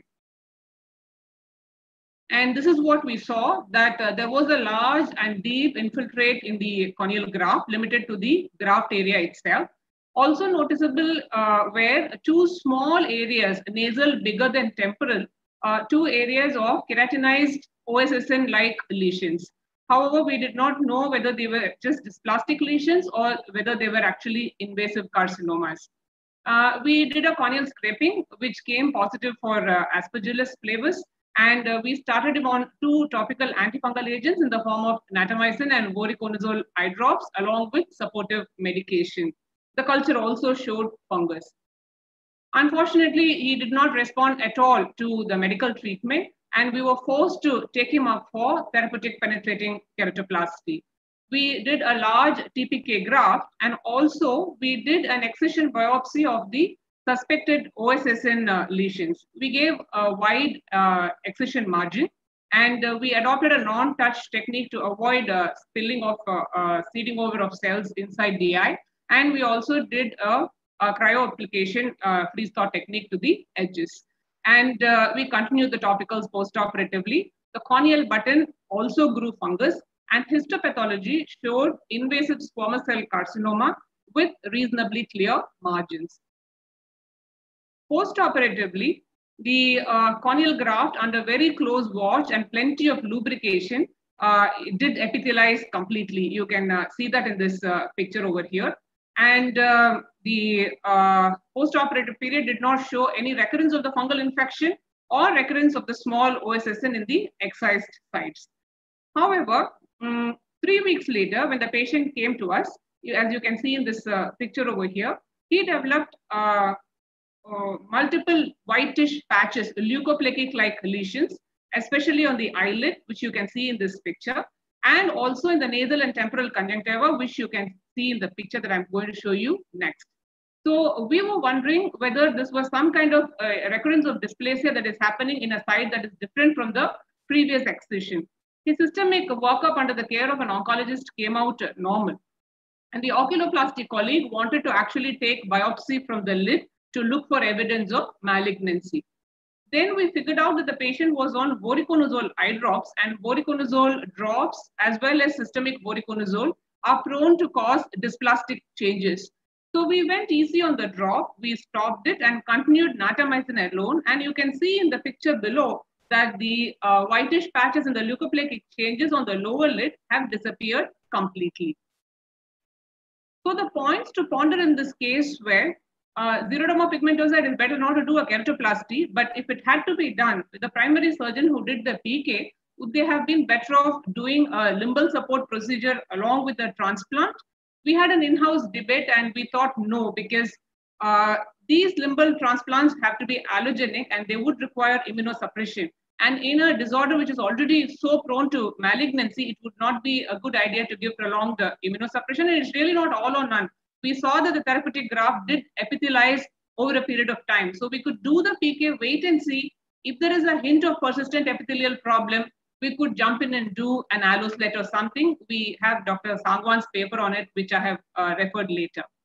And the treatment of the OSSN itself, when you have a corneal ulcer needing a TPK, do you want to give topical chemotherapy? Because in the presence of an ulcer, also these are very toxic medication.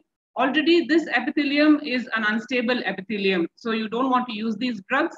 But at the same time, doing a surface excision along with an intraocular procedure also carries the risk of seeding, which till now has not happened in our patient, but we are keeping our fingers crossed. And lastly, voriconazole also leads to dysplasia topically and systemically. It is a photosensitizing effect which leads to dysplasia, which is very much same as the photosensitizing dysplasia caused by the XP as a disease itself. So probably this drop should not be used in this disorder at all. However, our patient also showed and reports also show that voriconazole induced dysplasia does stop with cessation of the medication itself. So in XP, limbal support or not with PK, OSSN surgery and TPK surgery together or not, and voriconazole or not. So the expert panel, please uh, share your opinion on these. Uh, can I come in, Somasheila? Yes, please. Yeah. Yeah, uh, uh, excellent, uh, Dr. Radhika, very well uh, uh, managed. It's a very difficult case in a one-eyed uh, patient. One of the biggest learnings from this is something that I myself didn't know till I till you sent me this, and I did read up on this of the effect of voriconazole on causing these heaped up lesions on the lid. And otherwise, I would have sworn that this is requiring a lid biopsy, and would never have suspected it to be due to voriconazole. So that is a big learning for me, and I'm sure it's for the audience as well. And your take-home point is that voriconazole does have this side effect. Uh, your, um, uh, I would have, I would agree with you that there were risks of doing an OSSN procedure along with the uh, TPK. On first thought, I would have just done a TPK, and the OSSN is not really vision threatening, or or you could have waited for a month or two months and then done the OSSN. But as you did it with a no-touch technique with a triple freeze thaw, the chances of seeding are, are not very great uh, in this. So I think what you did, it, it's, it's a one-eyed patient. You don't want to keep on doing surgeries. Right. So, uh, so uh, what you did is uh, is correct. With a no-touch triple freeze thaw technique, you did uh, come to the conclusion you could get a histopath uh, and know what you're dealing with. So I think there's a lot of learning learning points from your. You asked some questions, but more than that, you've given us a lot of answers on how to manage uh, difficult conditions like this. I have done two patients of um, XP with a Boston K Pro, but that's uh, without any infections, just with uh, uh, uh failed grafts uh, in these patients because the grafts don't do so well optical. So instead of doing another optical graft, I've done a Boston K Pro that seems to have done well now, about almost nine years uh, follow-up. But that's that's different. But for a patient with infection, which is one-eyed, I think excellently managed. Compliments. Thank you. Thank you so much, sir. I would also like to ask Dr. Sangwan about his opinion on uh, alloSLET as a primary procedure along with the first uh, PK. I mean, would immunosuppression be a good choice in you know this kind of a patient who's already prone for malignancies?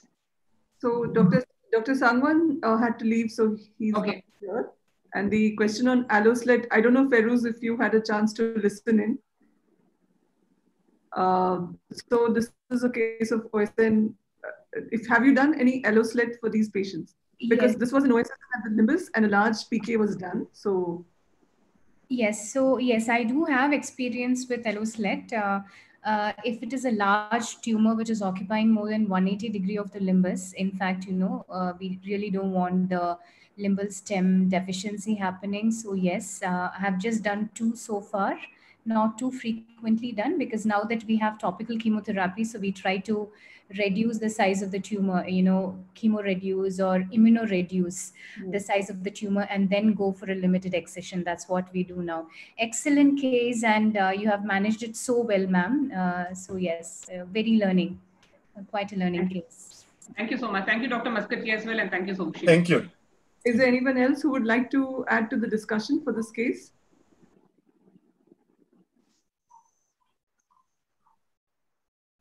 Good. So, Dr. Somasheila, can we come to the end of it? Yes, uh, I think it's been a long journey. Uh, although we couldn't stick to time, and apologies for that. But I'm very, very happy with uh, the way this whole meeting went. And we had some excellent presentations, both by our uh, international faculty who were very kind to give their time, which is early morning for them, and spoke on two excellent topics, covered it very well. And uh, also, I'm so grateful to all our presenters who took out the best from their cases, most difficult, maybe very difficult to manage. Not everybody likes to show that they couldn't manage or the patient had this particular outcome. It was very brave of them to present those cases and to discuss with us and teach us about the difficult management points in those cases. I'm grateful to them. And um, also grateful to Dr. Partha Biswas, grateful to, Dr. Namrata Sharma, Dr. Mahipal Sachdev, who have helped us uh, put this together for the scientific committee. And all of you know, this is our first webinar. And all my buddies on the scientific committee who have been with me, Parikshit, who's my co-moderator actually, so he deserves all the uh, thanks and support from me because he has just been supporting, doing everything in the background. So uh, if I've forgotten anyone, Paritosh, please chip in. Parikshit. Parikshit. The machine has been so busy in managing the webinar and getting everybody. so she's the one who needs a drink actually, at least a lemon juice. Please take my permission that I'm going to call you. Dr. Somasheila, you just everybody. you vanished on us. Uh, sorry, I lost. We don't have. I don't have any electricity right now. Okay. And uh, thanks, of course, to all the attendees who who really sat through. I actually messaged them earlier because I knew they might leave. Thanks to the uh, tech support with Sai and his team and the webinar. And of course, You're very good. has helped a lot in, in everything by managing all the different social media for us. And thanks to Dr. Partha for putting us all to work and getting us all chip in and do it. Thanks a lot, sir. Thank you very much. Uh, sir, Quresh, sir, any last comments from you, sir? no, no. As I, I, I always enjoy a good cornea session, so I really enjoyed this one. Lot of lot of learning for us as well as not. It's not only teaching; it's learning for every single person who was there on either side of the fence. Agreed. So thank you, Partha, Wonderful for cases. organizing an excellent cornea meeting. Thank you, thank you, sir. Thank you, And sir. Thanks to the uh, Thank you all. and presenters. Fantastic presentations, uh, mind-boggling. We've had very, very good comments and uh, very appreciative comments from our viewers and also from the faculty. Thank you very much, and thank you, the scientific committee team. Uh, it's really a wonderful way of doing things, and even so late at night, all of us are there with you. Thank you, thank you. 8 p.m. Thank you, thank you. Bye bye. Bye. Bye. Bye. Thank you. Thank you, Dr. Somasheila and AIO Scientific Committee. So Yeah, are we are we lot. off air now? Keep doing this.